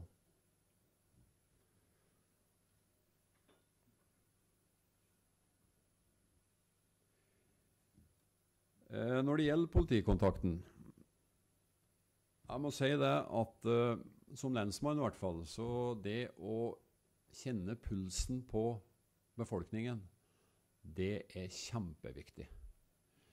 Og jeg har blitt utfordret flere ganger på hvor det er godt det kommer fram. Så hva framtida eventuelt får av politikontakt, det må dere være på i hvert fall på hugget her om å få mennesker som skal tjene Overhalla, må ha et eller annet fotfeste her.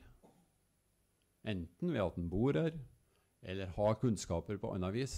Hvis det blir sånn at det rekrutteres en, eh, en fremmed en, så renner dette her ut i sanda. Det er garantert. Eksempel. Det er jo noen ganger sånn vet du, at eh, stort sett så skal det være en operative I dag så er det dem som har utdannelse for å kunne gå med skytevåpen. Dem er dem i utgangspunktet som skal ta alle oppdrag. De kjører politibil, osv. Sjøl om jeg kjører politibil, er jeg ikke sikker på å gjøre det i framtida. For jeg ikke, kan ikke gå med våpen lenger. Og da er det sånn at uh, når de kommer, så tar de det. Men når de ikke greier å komme, de er opptatt en annen plass, for sånn er det. At det kan skje andre ting i det distriktet vårt. Og Da ringer de meg, sånn som vi gjorde nå når det var brann på Øysletta.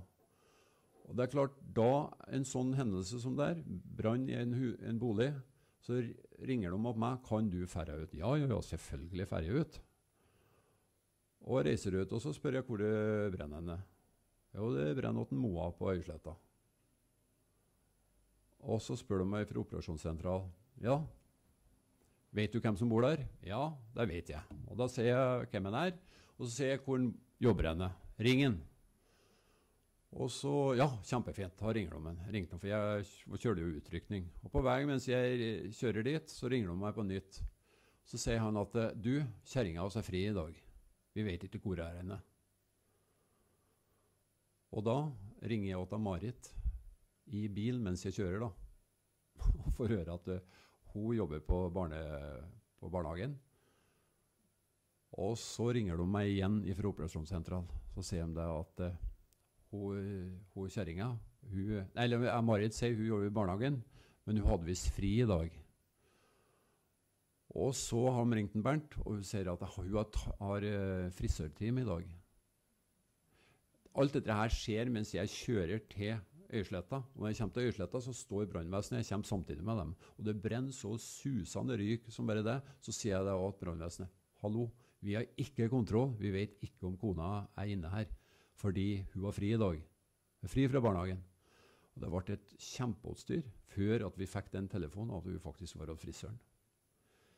Det her, går veldig fort. Hadde, ikke, hadde vi ikke fått den der infoen der ganske umiddelbart om at Bernt jobber der, og vi måtte begynne å sjekke sånne ting, så kunne dette her fort ha eskalert på stedet.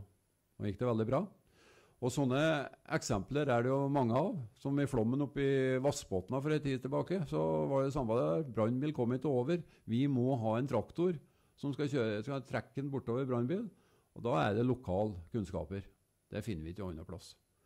Så jeg bare sier det for framtida. Følg med hvem som blir politikontakt, eller hva den heter, i framtida.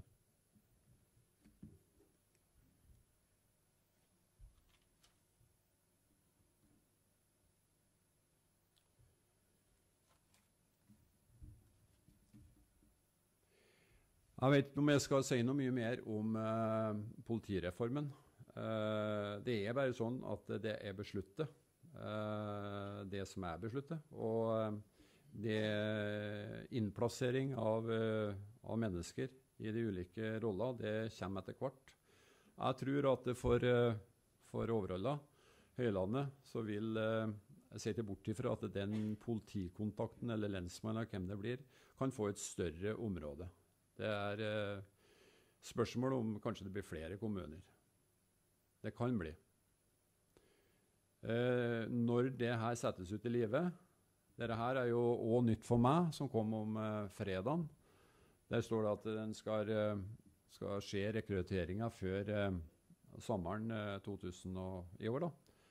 Eh, nå er det jo sånn at eh, jeg tror eh, det jeg har fått tilbakemelding på, at eh, sannsynligvis skjer i hvert fall ikke noe med lensmannen i Overhalla før kanskje sommeren 2018, tidligst.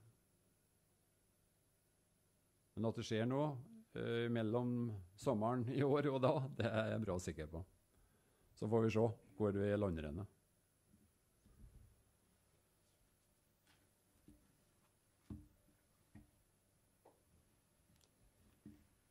Så var det litt om situasjonen i Overhalla. Altså, Overhalla er vel det distriktet som eh, Vi er nær Namsos. Og det gjør jo at eh, en del av ungdommen her drar dit eh, på skole etter eh, endt grunnskole. Eh, jeg må si at den kontakten jeg har litt gjennom en Bjørnar og litt gjennom eh, konflikter osv., og, så og jeg ser at det, det er jo veldig bra. Det er lite kriminalitet. Kjempelite. Så vi har god grunn til å, å eh, være stolt over ungdommen. Men det er noen utfordringer. Og det kommer sånn snikende, sånn som det gjør andre plasser. Narkotikasituasjonen. Eh, bare eh, fjor sommer Vi ser den overgangen fra 10. til videregående. Her er det, det er sånn at de skaffer seg nye kamerater, et nytt miljø, eh, slik at eh, Og de prøver å utforske. For det, her er det noen som tror det at det her med narkotika ikke er farlig. Det vil være bare glede i eh, utprøving osv. Og, så videre, og så uh, prøve å fortelle om dette her. Det har vi gjort, alt fra de var i barnehagen og oppover. At det her skal vi ikke begynne med. Nå begynner vi med det likevel. På et eller annet vis så er det noe Se bort ifra det. Og senvirkninga på det, det syns jeg er altfor lite framme i uh, lyset. For det ser vi her i, i Overhalla òg. Jeg må si De ungdommene vi har vært borti, det er forferdelig for familien. Jeg må si Det er en splittelse og en måte de sliter, og de er at også hvordan i all verden skal vi komme ut av det. Men de kommer ut av det. De fleste gjør det. Og det er det som er litt sånn gulrota her. De greier å komme ut av det, men det tar litt lengre tid. Men når det pågår, så ødelegger det utrolig mye. I fjor sommer avdekte vi mellom 10 og 20 stykker som holdt på med narkotika. Og vi fant brukerutstyr overalt her. Slengt ifra seg. Vi fikk avdekket en del av det ved at vi tok dem. Fikk tatt, eh, eh opprettet straffesak og eh, påvisning av, eh, av, i prøver da, at de faktisk har gjort det. De er erkjente. Og det er det fine med politiet og det nye systemet. at vi, vi trenger nødvendigvis ikke å gjøre sånn at de skal få et forelegg og så rett ut og ferdig. Det var det vanlige før. Har du blitt tatt for uh, røkt eller uh, brukt eller har vært i besittelse av små mengder, så er det forelegg. Da kommer det på, i strafferegisteret, og du uh, har det med deg resten av livet. Nå, her i Overhalla, så har vi en SLT-koordinator alene. Og vi kan da utstede ruskontrakt. Og fantastisk. Og flere av den ungdommen her har tatt den, den muligheten der og faktisk kommet seg videre. Kjempeviktig. Og da gjennom samtale, og ikke minst foreldre er med på dette her. Det er nødt til. Og da går de på ruskontrakt som går fra seks, egentlig seks måneder, men vi har utvidet til ni måneder. Det ser vi ikke noe mye om. Og I løpet av ni måneder der, så går de og tar rutinemessig urinprøve. Så vi er sikre på at det ikke er, er eh, narkotika i, i, i kroppen. Helt avgjørende er jo at vi kobler inn det som er av eh, folk rundt. Og som jeg ser, i tiende til videregående foreldra kjempevesentlig. Vi har litt sånn tendensen av tiende klasse. Da skal vi ha avslutningsfest, og vi skal ha alkohol og det ene med det andre. Null toleranse. Det må vi i hvert fall stå for. Vi kan ikke ha det sånn at foreldre godtar noe sånt i utgangspunktet. Er vi med på arrangement, så er det nulltoleranse på alkohol når man er så ung. En annen viktig medspiller oppi det hele det er jo Nav. Vi har jo det i bygget her òg. Kjempemessig. Sivile gjøremål. Pass. Nå er det sånn at uh, pass skal sentraliseres. I dag har vi Nærøy, Grong og Namsos i nærmeste. Nå heter det seg det at det blir så eh, mange restriksjoner omkring pass at du, en vanlig politimann får ikke komme inn i det passrommet der. Og du må ha en mengde som skal komme dit. Det er sagt over 1000 pass i året. Og da faller bortimot, hvis ikke pga. avstand, da, det tror jeg ikke, da blir det kun Namsos som får den passutstedelsen i Namdalen. Og det skjer i disse dager at de beslutter. Så er det sånn at de sivile gjøremål Namsmann det er jo samme som lensmann. Og eh, nå blir det en lovendring der. Eh, det skjer nå i disse dager. For det er I tvangsforbrytelsesloven så er det sagt at uh, namsmann han kan ingen rokke med. Det er verken politimester, bare tingretten som kan gjøre noe med. Så jeg er suveren innenfor sivilrettspleie i Overhalla Høylandet. Ingen kan rokke meg. Men det har vi jo skjønt, for da kommer vi å legge meg ned. Men uh, den loven må vi gjøre om. Så den blir gjort om i disse dager.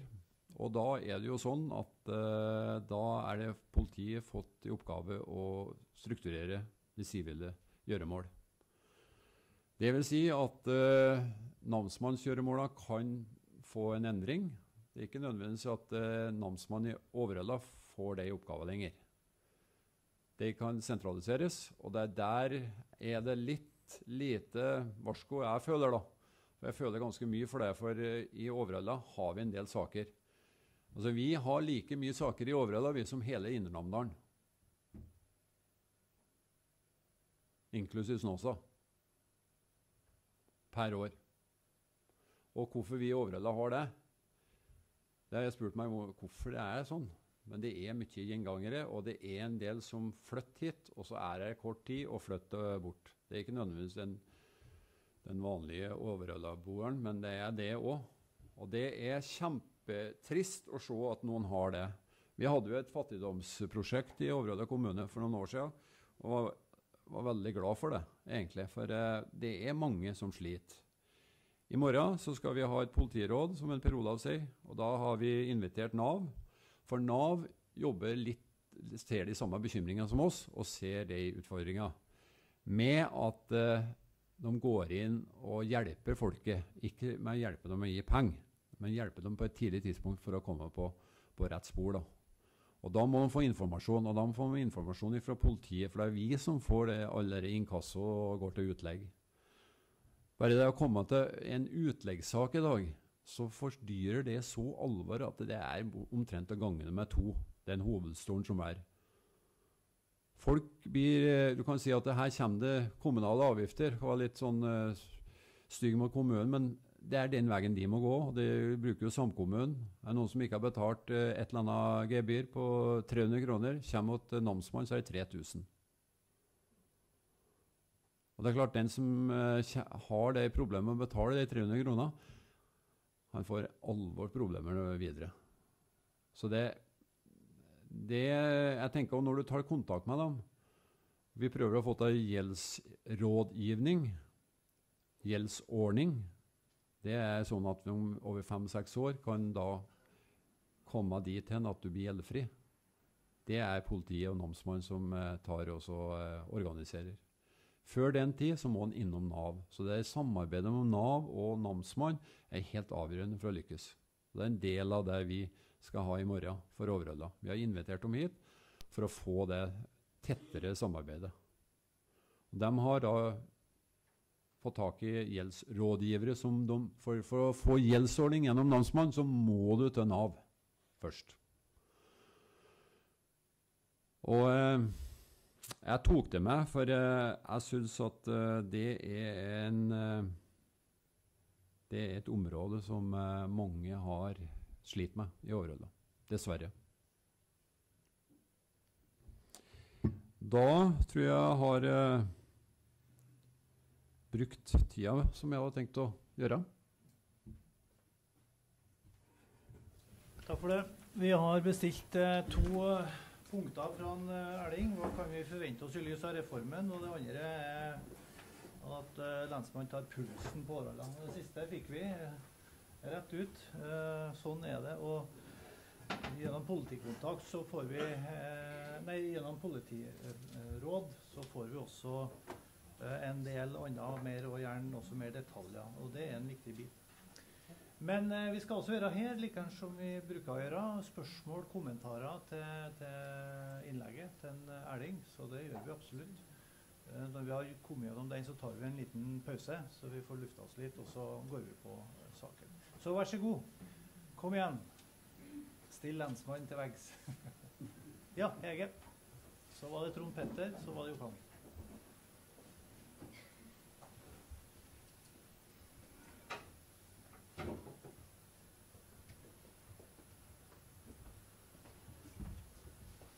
Dag, ordfører, kommunestyre. Eh, tusen takk. Bra framføring, for å si sånn.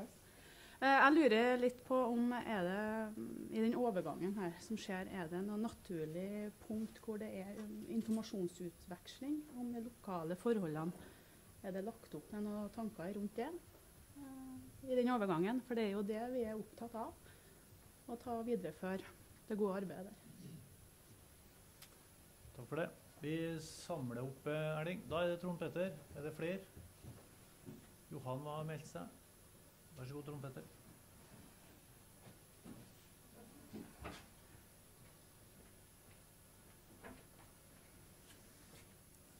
Ja, takk for innlegget. Um, sikkert et spørsmål som du ikke greier å svare på, da, men uh, det er jo det her berømmelige politikontakten som, uh, som har vært litt sånn uh, hengende i forhold til hva det er, skal være. Eh, og så, tror jeg så vidt du nevnte at eh, Overhalla kan se for seg en politikontakt tilgjengelig én til tre dager i vekka.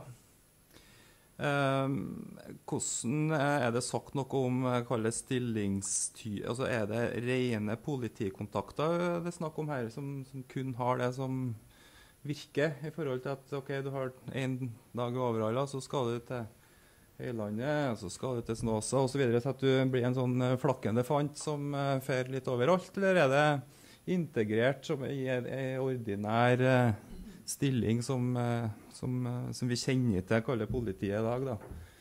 Um, Ellers så må jeg nå, for å bli litt politisk, så, så, så, så klart Den som ikke ser at dette her er en sentralisering som kommer til å skje, og som kommer til å bli merkbar etter hvert, den eh, tror jeg ser dårlig. Og jeg syns det skinner litt gjennom i forhold til innlegget til, til lensmannen. Og det, det, er jo ikke tvil om når, eh, når politiet sjøl har blitt spurt, at det er om ikke annet stor skepsis uh, til, til, reformen. og um, det har vært interessant å bare høre om lensmannen kunne ha synsa litt i forhold til hvordan han ser for seg den eh, lokale tilstedeværelse og lokalkunnskapen vi har i dag, da, i, for, altså, i et uh, nytt regime under den nye reformen. Uh, og litt perspektiv på tid. Altså, det tar jo tid det her før, det, før en reform er gjennomført operativ, før vi kan si at sånn skulle det bli. Uh, og litt konsekvenser rundt det. Det er jo et komplisert og umulig spørsmål, men, men synsing er jo alltid litt artig, det òg. Takk. Takk for det. Da har vi en Johan.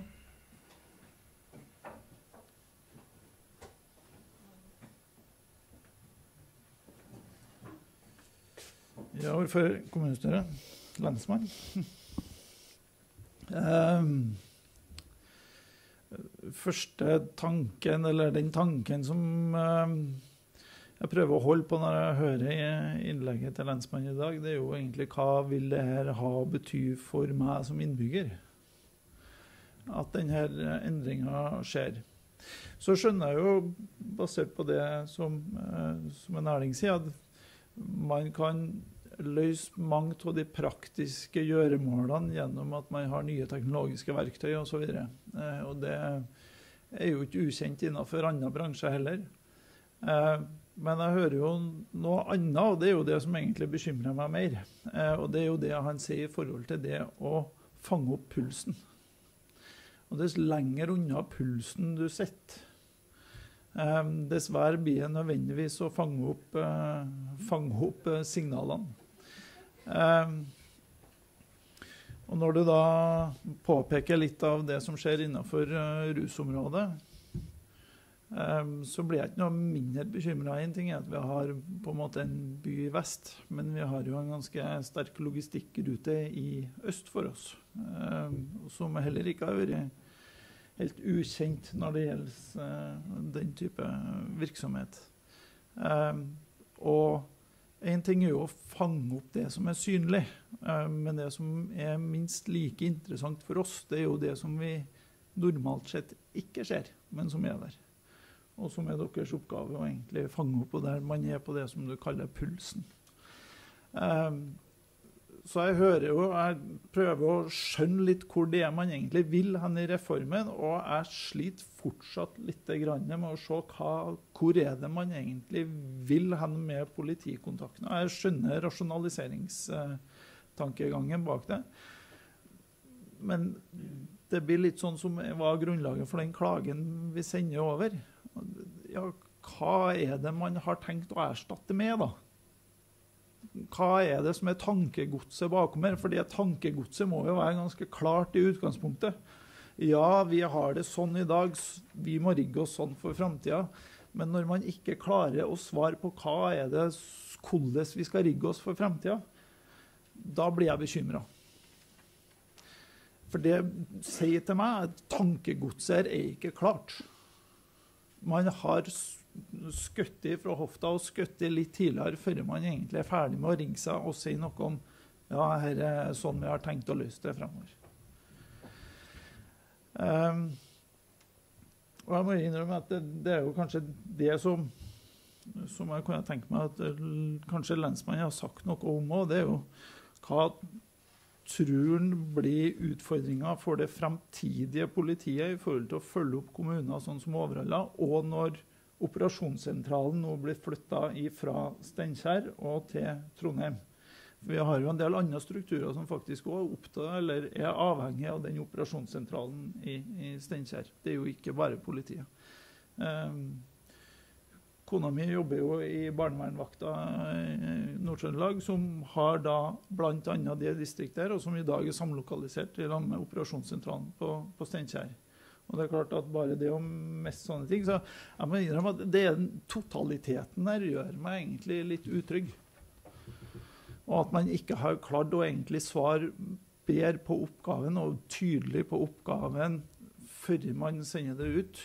Eh, og lett dette henge i lufta. Og så får vi en klagefrist, og så er det egentlig en proforma-greie. Ja, takk. Nå har det meldt seg. Det har vært et bra innlegg her. Erling Mavara. Eh, jeg håper du fortsatt kan uh, samle opp. Vi skal, vi skal videre med Marit. Uh, vi skal ha Marianne og vi har Ragnar. Og jeg tror mens Marit prater nå, så setter jeg strek på innlegg. Lene, fart med. Ordfører, kommunestyre og landsmann.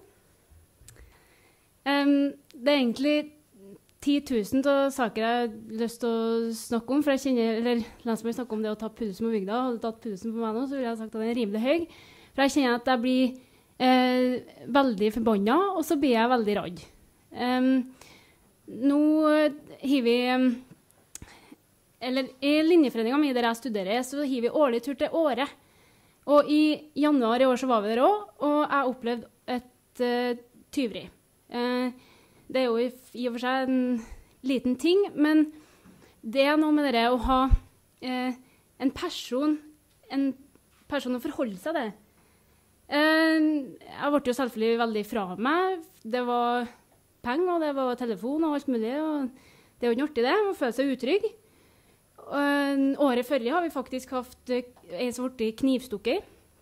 Nå er jo dette året, da. Det er heldigvis ikke året på Overhalla. Men uh, uansett, det er en plass man ville ha kalt grisgrendt strøk, og kanskje spesielt i Sverige. Uh, neste dag skulle jeg anmelde dette tyveriet, uh, og opplevde da at folk Jeg har jo ikke noen telefon, så jeg vet ikke hva det var. Jeg greide ikke å søke opp eller noen ting, så jeg bare for ut og spurte folk. jeg opplevde å inn til to butikker. Det første plassen så jeg at politistasjonen er den veien. Så fant jeg den helt fram, går inn til neste, får en helt annen vei.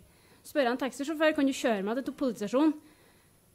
Det blir dyrt, sånn, for da må vi helt Jeg kommer ikke til plassen var men det var langt unna. Så det var bare å glemme den uh, anmeldelsen. I hvert fall forholde seg til en person. da. Jeg måtte jo ringe. Uh, men det blir jo papirarbeid med det òg, selvfølgelig. Og det er litt der jeg føler jeg føler vi er veldig på vei, da. Uh, når lensmannen her snakker om det forebyggende arbeidet eh, som jeg er sikker på ingen kan si seg uenig i at er vanvittig viktig, så skjønner ikke jeg for meg inni hodet mitt eller Det er liksom som Johan forteller. Jeg prøver så hardt jeg kan å se hvor, eh, hvor er vi hvor skal vi, og hvordan skal vi komme oss dit? Men jeg greier ikke å se hvor regjeringa har tenkt oss hen. Um, for at den følelsen jeg hadde i året, da, eh, med at man er litt etterlatt til seg sjøl. Helt alene. Og eh, hva skal man gjøre? Det er en sånn utrygg følelse som jeg ikke ønsker at vi skal få her i Norge.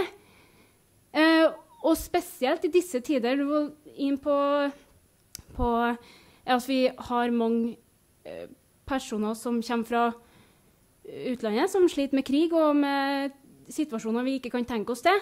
Så tenker jeg, er ikke da enda viktigere å ha den, de stødige distriktene som klarer å ta imot og håndtere sånne folk. Og når vi da snakker om den kunnskapen som det blir nevnt om her, der man samarbeider på tvers av forskjellige eh, Altså eh, Hva heter det? Instanser. Så klarer ikke jeg fått å begripe at dette skal på en måte flytte til enda mer papirarbeid i, Oslo. Sånn er det i hodet mitt. Så det egentlig så det, jeg vet ikke om jeg har noe spørsmål, men jeg spekulerer i da, hvordan, hvordan blir tilliten til politiet da, i framtida. Du ser jo det hvis det er bilulykke på Namsskogan, som det er ganske ofte langs E6-en. Namsskogan, Grong og forskjellig. Det kan jo forekomme overalt. Så er jo ofte at politikk har muligheten til å komme. Eh, far min var for en bilulykke for et par uker siden, der man opplever at brannvesenet må ta over forskjellige oppgaver som politiet har. Hva gjør det da med tilliten til politiet? Den lensmannen som man har, som man kan forholde seg til, som bare blir en bil som skal færre kjøre på veien. Det er jo Ja. Jeg jo ha stått der stygglenge, nå må jeg bare stoppe meg sjøl før, før, jeg blir mer gæren. Men, eh, men, litt med det, hvordan skal politiet klare å beholde den tilliten man har, som jeg opplever man har i dag, da, eh, videre? Eh, det må vel egentlig være spørsmålet mitt. Takk. Takk, for eh, Det er lov med engasjement. Det er veldig bra. Marianne, så har jeg en Ragnar, og jeg har eh, satt eh, strek. Så får du oppsummere kjapt. Eh, ikke Ja. ja, Lene var med, ja. Unnskyld. Lene var det. Lene var på båten. kommunestyreordfører. Jeg kjenner jeg blir veldig bekymra både som mamma, som politiker og sykepleier. Jeg har sjøl en gutt som er tenåring nå, og den jobben som eh, du har gjort, og Lene har gjort med ungdommene som er nå, er kjempebra. Og hvis de mister nærheten, så vet ikke jeg, nei. Jeg hører bare ryktene om ting kan og blir veldig bekymra. Og jeg håper at kan, eh, etter reformen her, at han kunne ha snudd tilbake igjen hvis det ikke fungerer. Men det vet en jo ikke. Jeg tror han vil gå tilbake. Eh, og hvem bestemmer om hvem som blir denne nærkontakten? Får eh, du være med på det? Er det noen som får lov til å være med og bestemme? Og ikke bare det, men det å stoppe ting på lavest nivå, som konflikter, som du har gjort. Eh, Slukk de her småbrannene. Det var veldig viktig før det eskalerer. Og ja, det var bare det. Jeg er veldig bekymra. Mm, og Takk. Da er det Ragnar, så har jeg Lene, ja, men hun får avgjøre om hun vil. Vær så god, Ragnar. Ordfører, kommunestyret. Eh, hvis jeg forstår lensmannen rett her nå, så, eh, så vil ikke de sivilrettslige oppgavene til lensmannen være en del av politikontaktens oppgaver. Eh, bare, hvis, hvis du har noen anslag på det, kan du si noe om hvordan, eh, hvordan Hvis du vekter de politimessige oppgavene opp imot de sivilrettslige oppgavene, hvordan fordeles det? I en eh, lensmanns hverdag. Takk.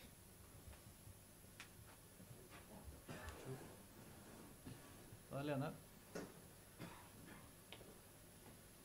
Ordfører, kommunestyret, Marit sa veldig mye til det jeg tenkte på. Man kan si det litt sånn enklere. Og det du, Ragnar, og det, hvem skal klare å holde tråden i alt det lensmannen holder tråden i? Og så når folket ikke har en bestemt person å ringe, at vi ringer, at, uh, ringer nødnummeret eller et eller annet sånt, hvem skal da formidle det til politikontakten? Hvordan skal politikontakten kunne ta med seg det inn til kommunen? Jeg tror akkurat det der på kommunens nivå så vil det der fungere ganske greit, for da har du den dagen i vekka. Men det er alt det som foregår rundt, og det er den pulsen du snakker om. Så det, hvordan skal du organisere dette for å ha oversikt? Det skjønner ikke jeg helt. Men jeg håper noen har tenkt på det, hvordan de skal gjøre det. Takk. Ja, takk. Erling. Da er det til deg å svare på mange spørsmål. Jeg ber deg faktisk være litt kort nå, for vi har gått langt over tida. Men eh, bra er det. Så vær så god.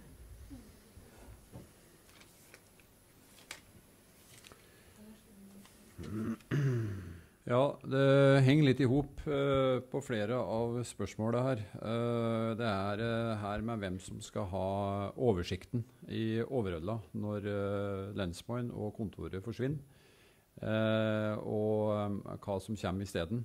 Um, som dere ser her, på hva som er tiltenkt av eh, politikontakten, så er det uh, jeg kan godt, altså De leser jo hva som står her, og det er, det er jo bortimot eh, mye av det som lensmann er i dag. Eh, men det er spørsmål hvor mye blir den her, den politikontakten. Og det, det er sagt her at han skal være her én til tre ganger i vekka.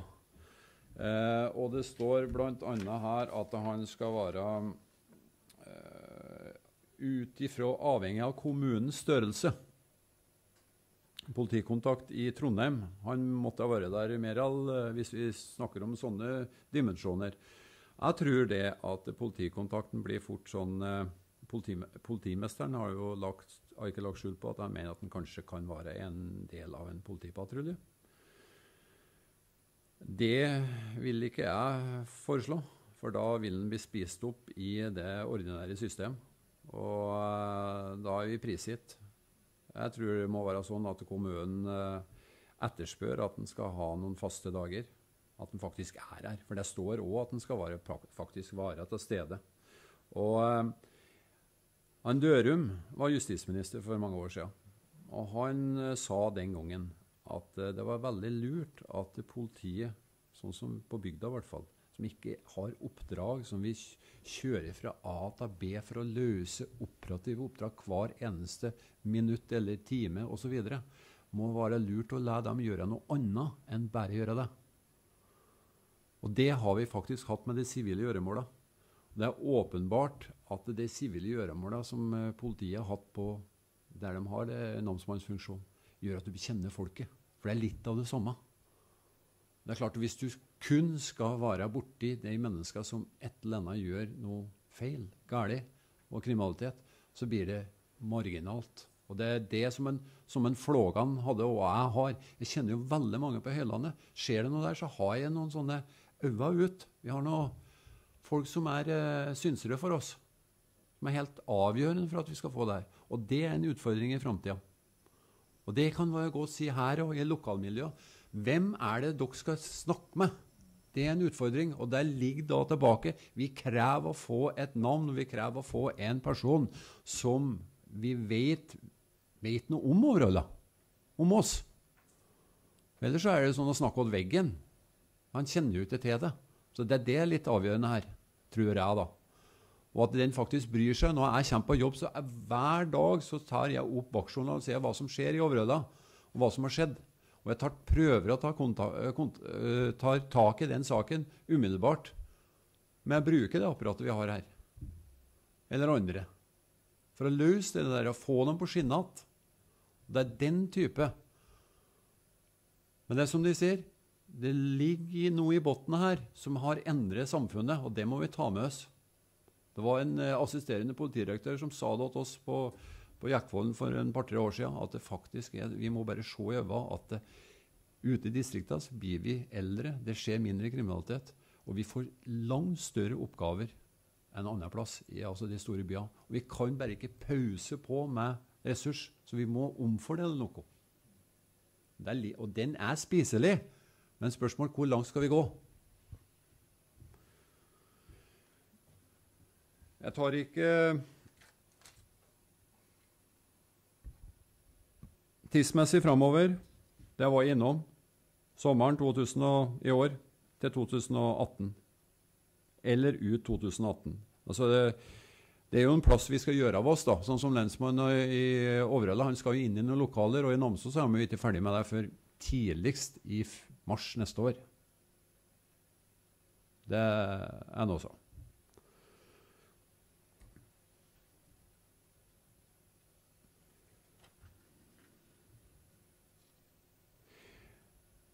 Det var innom. Det bare lite hake med det. Eh, det å ha tillit til en politimann eller politi for å gi informasjon, det er kjempevesentlig. Og det er kjempevesentlig for oss, og mange ringer meg og sier det fra Overhalla. Du, det har skjedd et eller annet skadeverk her. Jeg vet som har gjort det, men jeg må ikke bli innblandet. Jeg må ikke bli innblandet. Da sier jeg ikke hvem det er. Da sier jeg det. Ja, men si hvem det er, du, og si når det skjer, osv., så, videre, så blir du til det. Den holdninga der den liker jeg egentlig ikke. For vi må, vi må, snu den. Vi må bry oss. Vi må faktisk, Sånn som på Høylandet, som en ringte meg og sa at nå er det så mye promillekjøring oppe her at nå må de gjøre noe for ungdommen. De sier at det kommer ikke noe politi. Det vet jeg, så vi kjører nå bare hjem fra fest. Sant? Det kommer ikke noe politi. Og vet, det, den holdninga der, hvis den begynner å spre seg, da sa han opp meg jeg finner meg ikke i dette lenger. Derfor sier jeg ifra. Så det er toveis. Da ringer han om det. Og Da tar vi kontakt med det. Da tar vi kontakt med SLT-rådgivere, tar det opp i politirådet og, og ungdomsrådet på Høylandet og får gjort noe med det. Og det er den type politi de må etterspørre. For Det er ikke nok å sitte i en politi og bare passere forbi her og dra innom på kaffen og snakke med kaffebordet. Det er ikke nok. Du kjenner ikke mer enn en brøkdel av de menneskene som er her. Og Derfor så er det ikke sånn i Namdalen, og kommer aldri til å bli i Namdalen, at vi kjører fra A til B og hvor som helst med at vi har konkrete oppdrag som vi skal løse av operativ eh, karakter. Derfor må, må vi på et eller annet vis bli kjent med folket. Når det gjelder forebyggende, så tror jeg i framtida blir sånn at de det blir meldt inn. Skoler vil ha forebyggende, og det blir mer sånn planmessig. I forhold til nå på høsten skal vi ha åttende klasse, Våren skal vi ha 10. klasse. Det meldes inn ressurs, og det kommer folk som gjennomfører det. Det tror jeg nok blir veldig bra. Det er litt av det samme som er i dag òg. Til sist, Ragnar.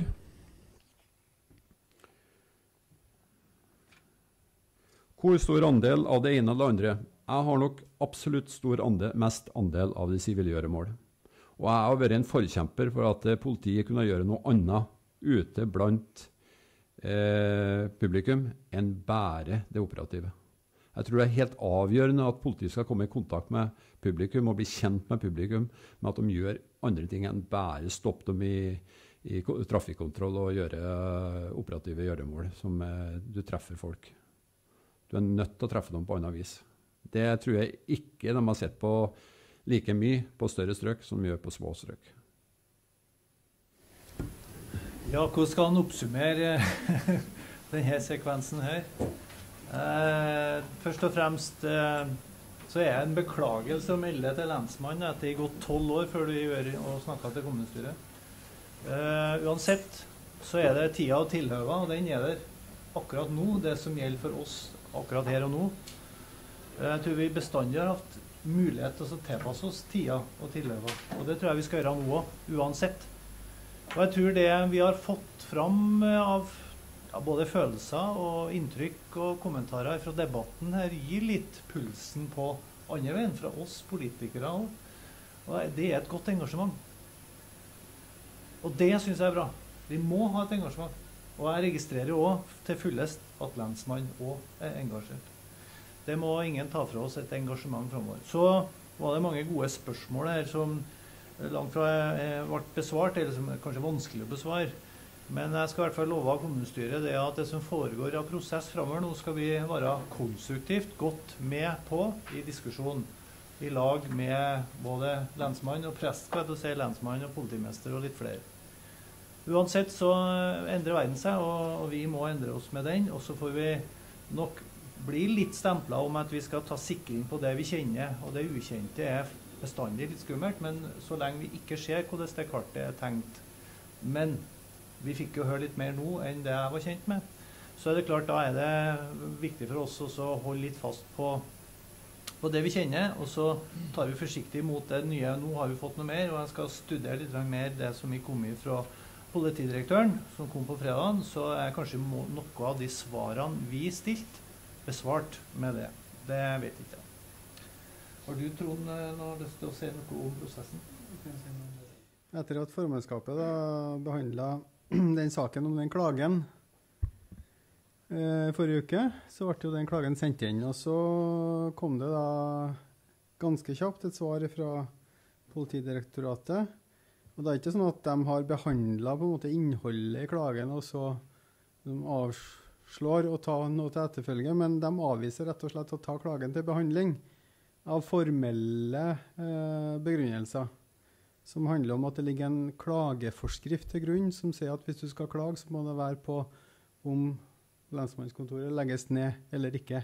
Og når vi da er inne på innholdet i, i hva vi får i stedet, som vi definerer som vesentlig for den lokale strukturen her, så definerer Politidirektoratet at det er utafor klageforskriftens virkeområde. Og dermed så var det svaret. At uh, klagen var på en måte ikke god nok. Uh, og det har uh, ordføreren og rådmannen rådmann sendt et svar på. Og vi ber om at Politidirektoratet gjør en ny vurdering av innholdet i klagen. og hvis de ikke gjør noe annen konklusjon ut ifra det, så ber vi om at klagen fra Overhalla kommune blir oversendt til departementet for behandling. Og så har vi per nå i hvert fall ikke fått noe svar på det. Takk. Det ble bestemt fra formannskapet ut ifra det som rådmannen nå orienterte om, enstemmig fra det som skjedde. Man skal også henlede oppmerksomheten til stortingsproposisjon eh, 61, det heter. Der er det da enighetsprotokoll på en måte fra, nei, fra støttepartiene, og, eller regjeringa og flertallspartiene, som viser nettopp til det vi har stilt spørsmål om òg, som de legger veldig til grunn i reformen. Det er situasjonen i dag. Nå er vi langt over tida. Klokka er ti per tre. Vi takker en, eh, Erling. Jeg syns vi gir han en applaus. Så tar vi eh, fem minutts pause. Ja, vi mangler Der har vi den. Da er vi alle Vi eh, er på lufta, er vi det? Må jeg få ro i salen? Takk. Jeg liker jo lite å klubbe så hardt. Altså. Takk for eh, god debatt så langt. Vi går inn i saklista, og vi starter med sak nummer åtte, overdragelse av eierskap i MTE. Uh, Behandla i formannskapet eh, 2. mars. Og jeg sier nå som jeg sa da, at vær så snill ikke endre på så mye som et komma, for da må alle all eierkommunene 23-tallet gjør det samme. Her er vi inne på avtaleverk eh, som er ganske nitidig.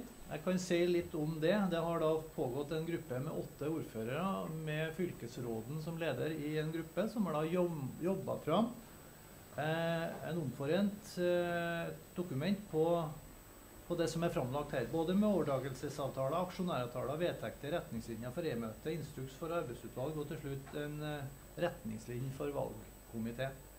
Det er jobba veldig godt, og det har vært en god eh, samla tone blant alle kommunene som har vært representert der, og ellers. Vi har fått gjennomført presentasjoner av det arbeidet som har pågått. Syns det tegner til å være veld, veldig bra. Men for all del, vi åpner for debatt, kommentarer, eventuelt andre forslag, da, hvis det skulle være det mot formodning her i dag. Vær så god. Nei, eh, sånn er bestandig ute når jeg legger føringa. ja, høyre og kent, vet du. Kan vi da med det gå til votering? Det kan vi. Da tar vi alle punktene samla. Den som støtter formannskapets innstilling, forholder holde seg i ro. Den som er uenig, viser med stemmetegn. Det stemmes. Enstemmig. Godt. Det sendes i hui og hast til Steinkjer for meddelelse om at Overhalla kommune da har eh, tatt imot det kallet tilbudet. Vi går videre på Finansrapport 2016, sak 9. Vi tar finansrapporten for 2016 til orientering, sa formannskapet den 2. mars. Jeg tror ikke jeg tar noe mer innledning i det. Dere har lest saken godt, og så er jeg åpner for debatt. Vær så god. Ingen? Da går jeg til votering. Det gjør jeg. Og jeg oppfatter det til støtte til formannskapets innstilling. Enstemmig. Kan jeg det? Ja, det gjør jeg. Enstemmig til formannskapets innstilling. Vi er litt innafor det finansielle her nå. Ser eh, økonomidirektøren, skal jeg kalle det, men det lukter lønn. Eh, Økonomisjefen er her. Han er i hvert fall klar på spørsmål hvis det skulle være det. I tillegg til rådmann. Revidert finansreglement, sak 10. Her er også formannskapets enstemmige innstilling, det som var tilsvarende rådmannsinnstillinga, at vedlagte utkast til revidert reglement for finansforvaltning for Årdal kommune vedtas og erstatter tidligere reg- reglement med virkning fra 1.1.2017. Og det er fordi at det har kommet inn en del nye forskrifter og regler her som, eh, som vi har tatt innover oss. Uh, ja, siste gang revidert 5. mars 2013. Vær så god. Ingen spørsmål eller kommentarer eller andre forslag? Ja, Johan. Det var nå du skulle ha et kvarters Eller tre kvarter. Vær så god. Det er ordfører i kommunestyret. Det ante meg at det er ikke den mest spennende saka på saklista. Um, jeg tenkte likevel jeg skulle bare si to ord. Jeg kan slå i hop den saka her med den forrige. Det var mye lyd. Um, vi har ganske god lånestruktur i Overhalla. Eh, det, det kan høres litt kjedelig ut, men det er veldig viktig faktisk at vi har et litt bevisst forhold til det nå når belåninga vår øker. At vi òg har kontroll på hvordan vi minimerer eh, utfordringene vi kan få hvis at eh, renta begynner å øke. Det blir som på et vanlig huslån vidt, eller boliglån. Hvis du har den samme inntekta og renta plutselig fordobler seg, så har du fort en, en utfordring. Og Det blir egentlig det samme her òg, riktignok i et eh, litt annet omfang. Um, men det er egentlig det som ligger i, i finansreglementet. Det er hvordan vi ønsker å håndtere den lånerisikoen vår. Det er egentlig det som er, bottom line. Og sånn som vi har det i Overhalla nå, så er det egentlig eksempel til etterfølgelse. Um, når vi ligger på ca. en fjerdedel flytende, tre fjerdedeler er, er fast, så er det opp, omtrent optimalt. Um, og Hvis man da i tillegg går og ser på hva som er lengda på det som er fastrentelån, så ser man at det er litt forskjellige lengder. Da begynner man å å nærme seg det som man da kaller modifisert durasjon på, på fagspråket. Altså at man har egentlig til og med fordelt risikoen på det som er langsiktige lån i tillegg. Ellers så ser det her, her krutet godt ut, for å se rett ut. Det er dønn solid. Eh, nå kommer jo finansrapporten litt tidlig da, i forhold til at vi ikke har fått årsrapporten ennå. men hvis man leser eller ser litt inn i tallene her, så skjønner man jo at vi hadde et ganske godt år i fjor. Eh, det var det jeg tenkte jeg skulle si. Eh, kanskje jeg kunne ha tenkt meg at reglementet har sagt noe om eh, å være mer kanskje basert på hvor mye eh, renteøkning er det vi faktisk tåler i, i økonomiplanen vår. Men eh, det skal delvis komme fram i økonomiplanen. Men jeg kunne kanskje tenkt meg at lånestrukturen var, var litt tilpassa det òg. At man sier at ja, hvis man har belåning som over eh, tredjedel eller halvparten av det vi har i driftsinntekter, så skal det være i, i fastlån, f.eks.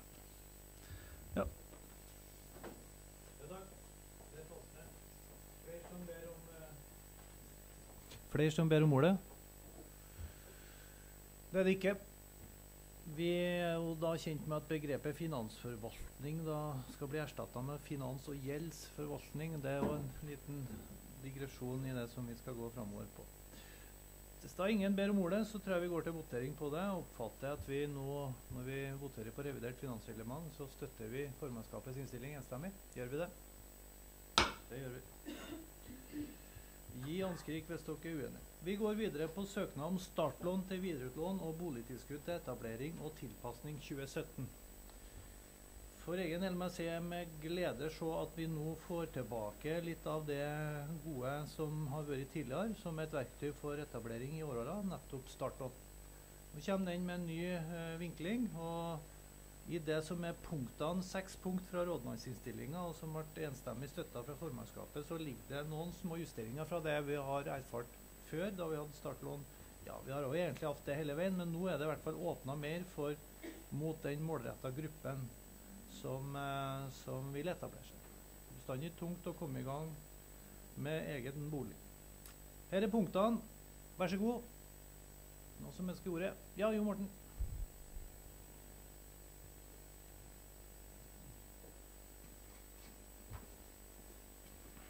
Ordfører, kommunestyre.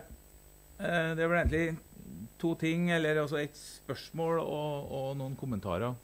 Eh, sånn som startlån har blitt praktisert tidligere, så har jo det blitt brukt som en delfinansiering av en bolig. Gjerne i kombinasjon med bankfinansiering. Eh, nå er jo regelverket endra, så for bank så er det ikke kan en ikke anta eller kan ikke ta inn startlånet som en egenkapitalfinansiering, sånn som ble brukt før. Så det vil si at Uavhengig om du har lån i bank og startlån, så er det i henhold til departementet så må du ha egenkapitalen i tillegg. Så, og Da blir litt spørsmålet hvor stor, hvor stor andel tror vi at vi kommer til å ha, ha bruk for å ha som startlån. For det vi i hvert fall jeg observerer, det, det at eh, startlån i dag det blir gjerne da brukt som helfinansiering av en bolig til dem som ikke får finansiert gjennom private aktører. Eh, så spørsmålet mitt er hva skjer hvis vi ikke bruker opp midlene? Det er den ene tingen. Også er det at, for jeg vet, det, akkurat det med det egenkapitalbiten det har vært en ganske stor debatt rundt akkurat dette. Og det har vært diskutert eh, på ganske høyt nivå og avklart dette.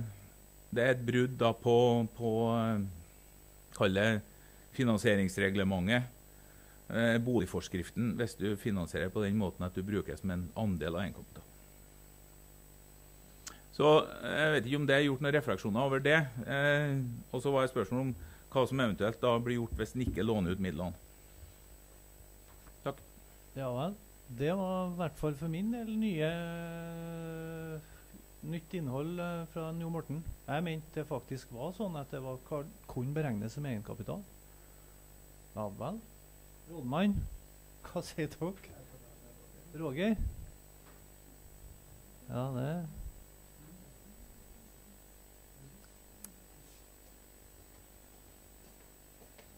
Han så så spørrende ut. han. Ja, litt, uh, jeg vet ikke om jeg kan svare på begge spørsmålene. Ja. Eh, ordfører, kommunestyret. Eh, det jeg kan svare på, det er det som handler om regnskapet. Eh, det er hva vi gjør med midlene som biter gode. De fører vi bare over til neste år. Sånn, sånn som i dag, nå, så har vi 1 million fra gammelordninga. Så hvis du tar opp 60 her nå, så har vi bare med oss fra år til år, liksom. Så, som en sånn fond, på et vis. da. Så, så ber vi om nye midler, da, enten gjennom budsjettet eller enkeltsaker hvis at det blir tomt. Så, sånn har det blitt praktisert tidligere. Men eh, Ja, da har du svaret. Takk. I forhold til den uh, Jo Morten spør om, så tror jeg vi skal sjekke opp det litt nærmere. Jeg tror ikke jeg skal driste meg på noe svar uh, her og nå. Uh, vi tar det med oss. Og vi, vi må selvsagt forholde oss til lovverk og re reglene som er. Vi skal ikke gå på tvers av det, så det er ikke en tvil om i hvert fall. Takk. Ja, Jo Morten.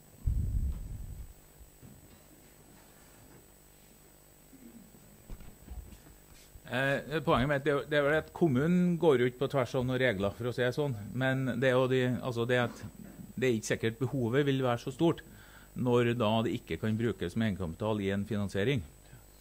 Eh, Selvsagt kan den banken som yter eventuelt et sånt lån, få brudd på sin boligforskrift. Men der har jo bankene ganske strenge regler for hvor mye de kan ta inn. Så jeg tror ikke at det vil bli noe særlig mye brukt. da. Det er poenget mitt. Jeg, ser den.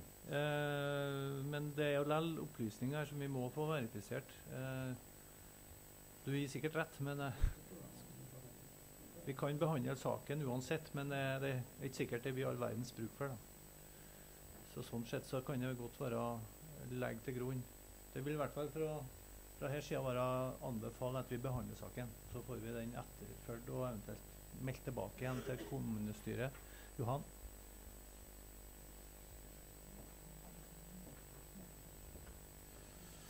Ja, ordfører kommunestyret. Um, det var nye opplysninger for meg òg. Um, I forhold til saken så er det ganske lite beløp, det er 6 millioner kroner. Og i forhold til prioriteringene som settes i, i, i, i saksframlegget her, så er det ikke først og fremst til boligkjøp, men det er mye godt til familier som trenger å gjøre tilpasninger osv.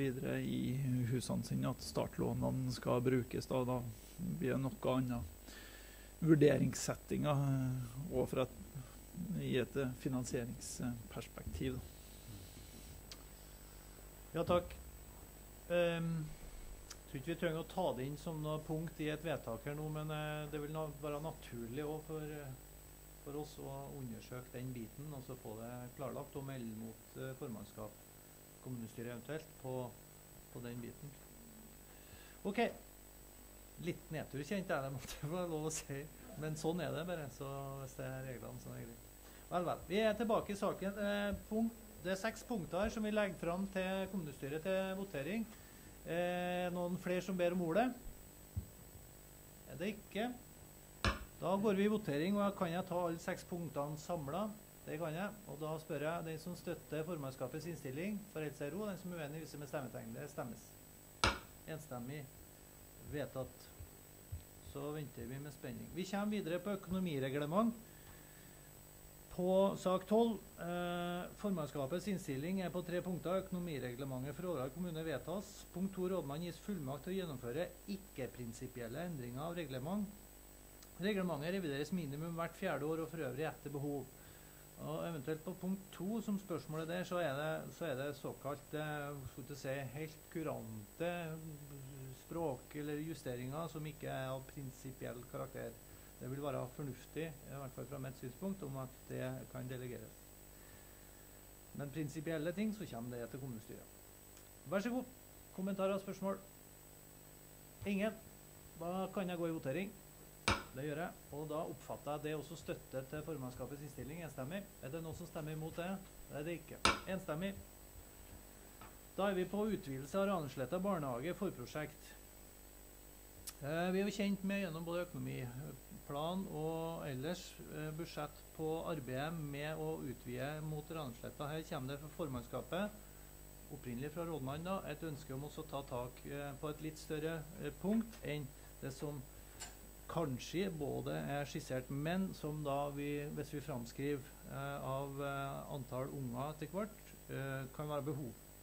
De fem punktene her er behandla i formannskapet, og der òg er det støtte til, for, eh, til rådmannens innstilling. Da åpner vi for debatt. Vær så god. Ingen? Nei, da klubber jeg for at vi går i votering, hvis ingen nå eh, på siste sekund. Vi går i votering. Vi kan vi ta de fem punktene samla?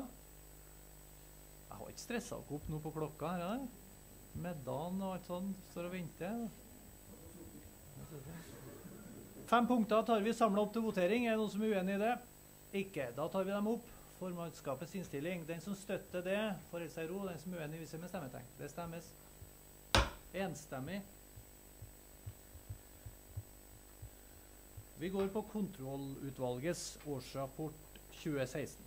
Det er sånn at vi har vår eh, leder av kontrollutvalget til stede.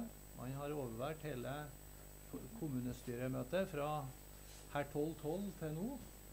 Han er nok eh, av den sorten som syns dette er interessant. Han har nok erfaringer med det også. Eh, I tillegg så kan jeg se det at han har òg en evne til å slå opp PC-en når det er kommunestyremøte, for å følge med. Så han følger med oss. Jeg kan da introdusere inn han nå for eh, kommunestyret, sånn at han får framlagt årsrapporten. Eh, leder Redar Viken. Ordfører kommunestyret, takk for kommentaren.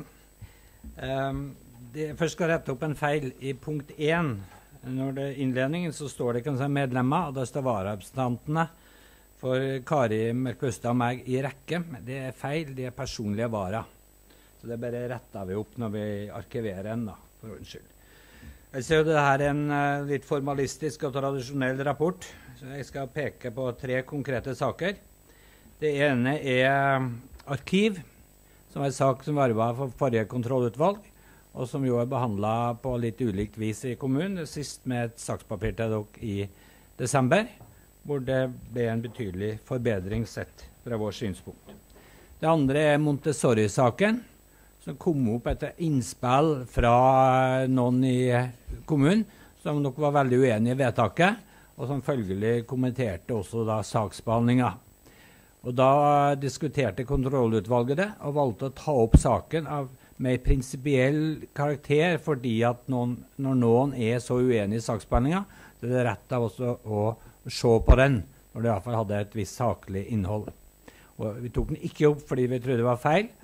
Eh, Forvaltningsrevisjonen gjorde en skikkelig grundig historisk jobb, nesten mer enn jeg har tenkt, og var tydelig i sin konklusjon på at dette var forsvarlig utreda. Noe som jo er trygt å vite for både kommunestyret og befolkningen. Det tredje liksom store saka er jo den som pågår nå, nemlig regnskapsrevisjon. Eh, som jo er en eh, jobb å gjøre i forhold til det, hvor det vanligvis går en del brev mellom administrasjonen og, og revisjonen.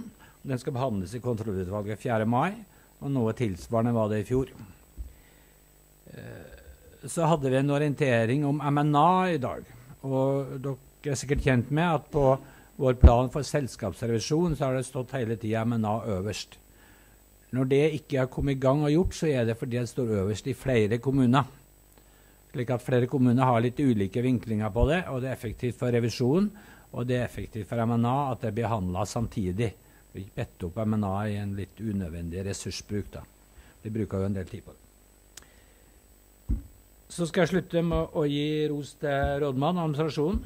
De stiller opp for oss. Vi kan være litt kravstore og bruke litt tid og be om orienteringer og det. Og det får vi på en veldig skikkelig og solid måte, som er betryggelse for oss. Og vel egentlig er litt effektiv på sikt òg, for det blir ikke helt unødige saker. Takk skal du ha. Melde meg sjøl.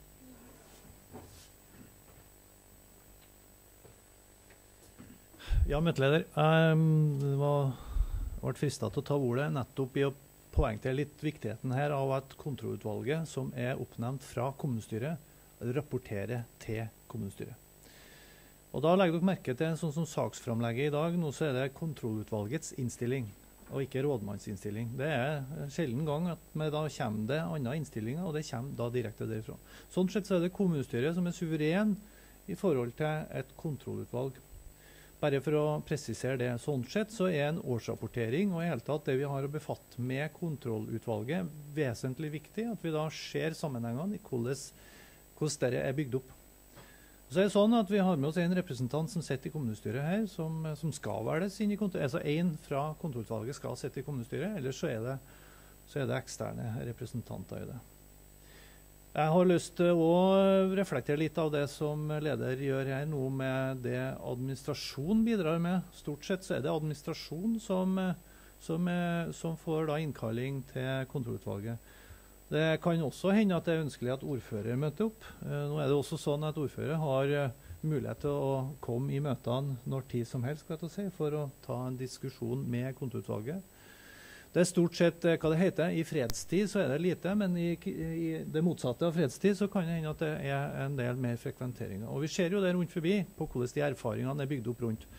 Og Da er det viktig, jeg skal avslutte med det, eh, de oppgavene og de rollene vi har, må vi være presise på. Og det vil jeg gi tilbakemelding til kontrollutvalget på. Dere er presise på bestillingene. Ja, når man ser at det har kommet opp et ønske om å ta opp en sak for å se på det prinsipielle, så er det klart da er det spennende. På, beveger vi oss helt på rett side? Nettopp ut ifra kontrollutvalgets rolle. Og det må jeg si dere har eh, klart et mesterstykke på. Sånne utfordringer kan komme. Vi gir aldri noe fasit på ting, men dere, dere har bevega dere godt på det. Det har jeg lyst til å gi tilbakemelding på. Eh, på en måte fra, fra kommunestyret. Eh, gitt at uh, ingen er sterkt uenig med meg i det, så er, så er det viktig å få å gitt tilbakemeldinger. Sånn at vi kan klare å jobbe fram i fredstid. og det er viktig for meg å poengtere. At vi jobber godt på rollefordelingene. Eh, kontrollutvalg, kommunestyre også gjerne administrasjon eh, når den tid kommer. Så tilbake til dere òg. Takk for et godt gjennomført år så langt. Og vi ønsker dere lykke til i arbeidet framover i 2017. Og så har vi fortsatt en god dialog med, mellom kommunestyret og kontrollutvalget.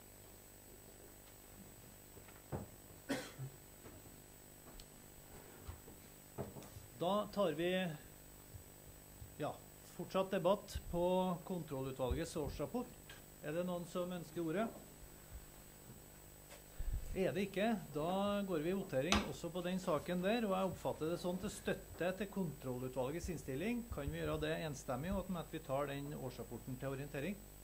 Det gjør vi.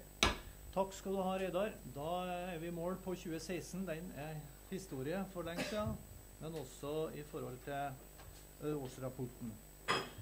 Da har vi én sak igjen. Og Den eh, er da unntatt offentligheten i henhold til offentlighetsloven paragraf 13. Eh, og hjemmel på det. Er det noen som er uenig i at møtet stenges? Det er det ikke. Da er det herved erklært at møtet er stengt for offentligheten.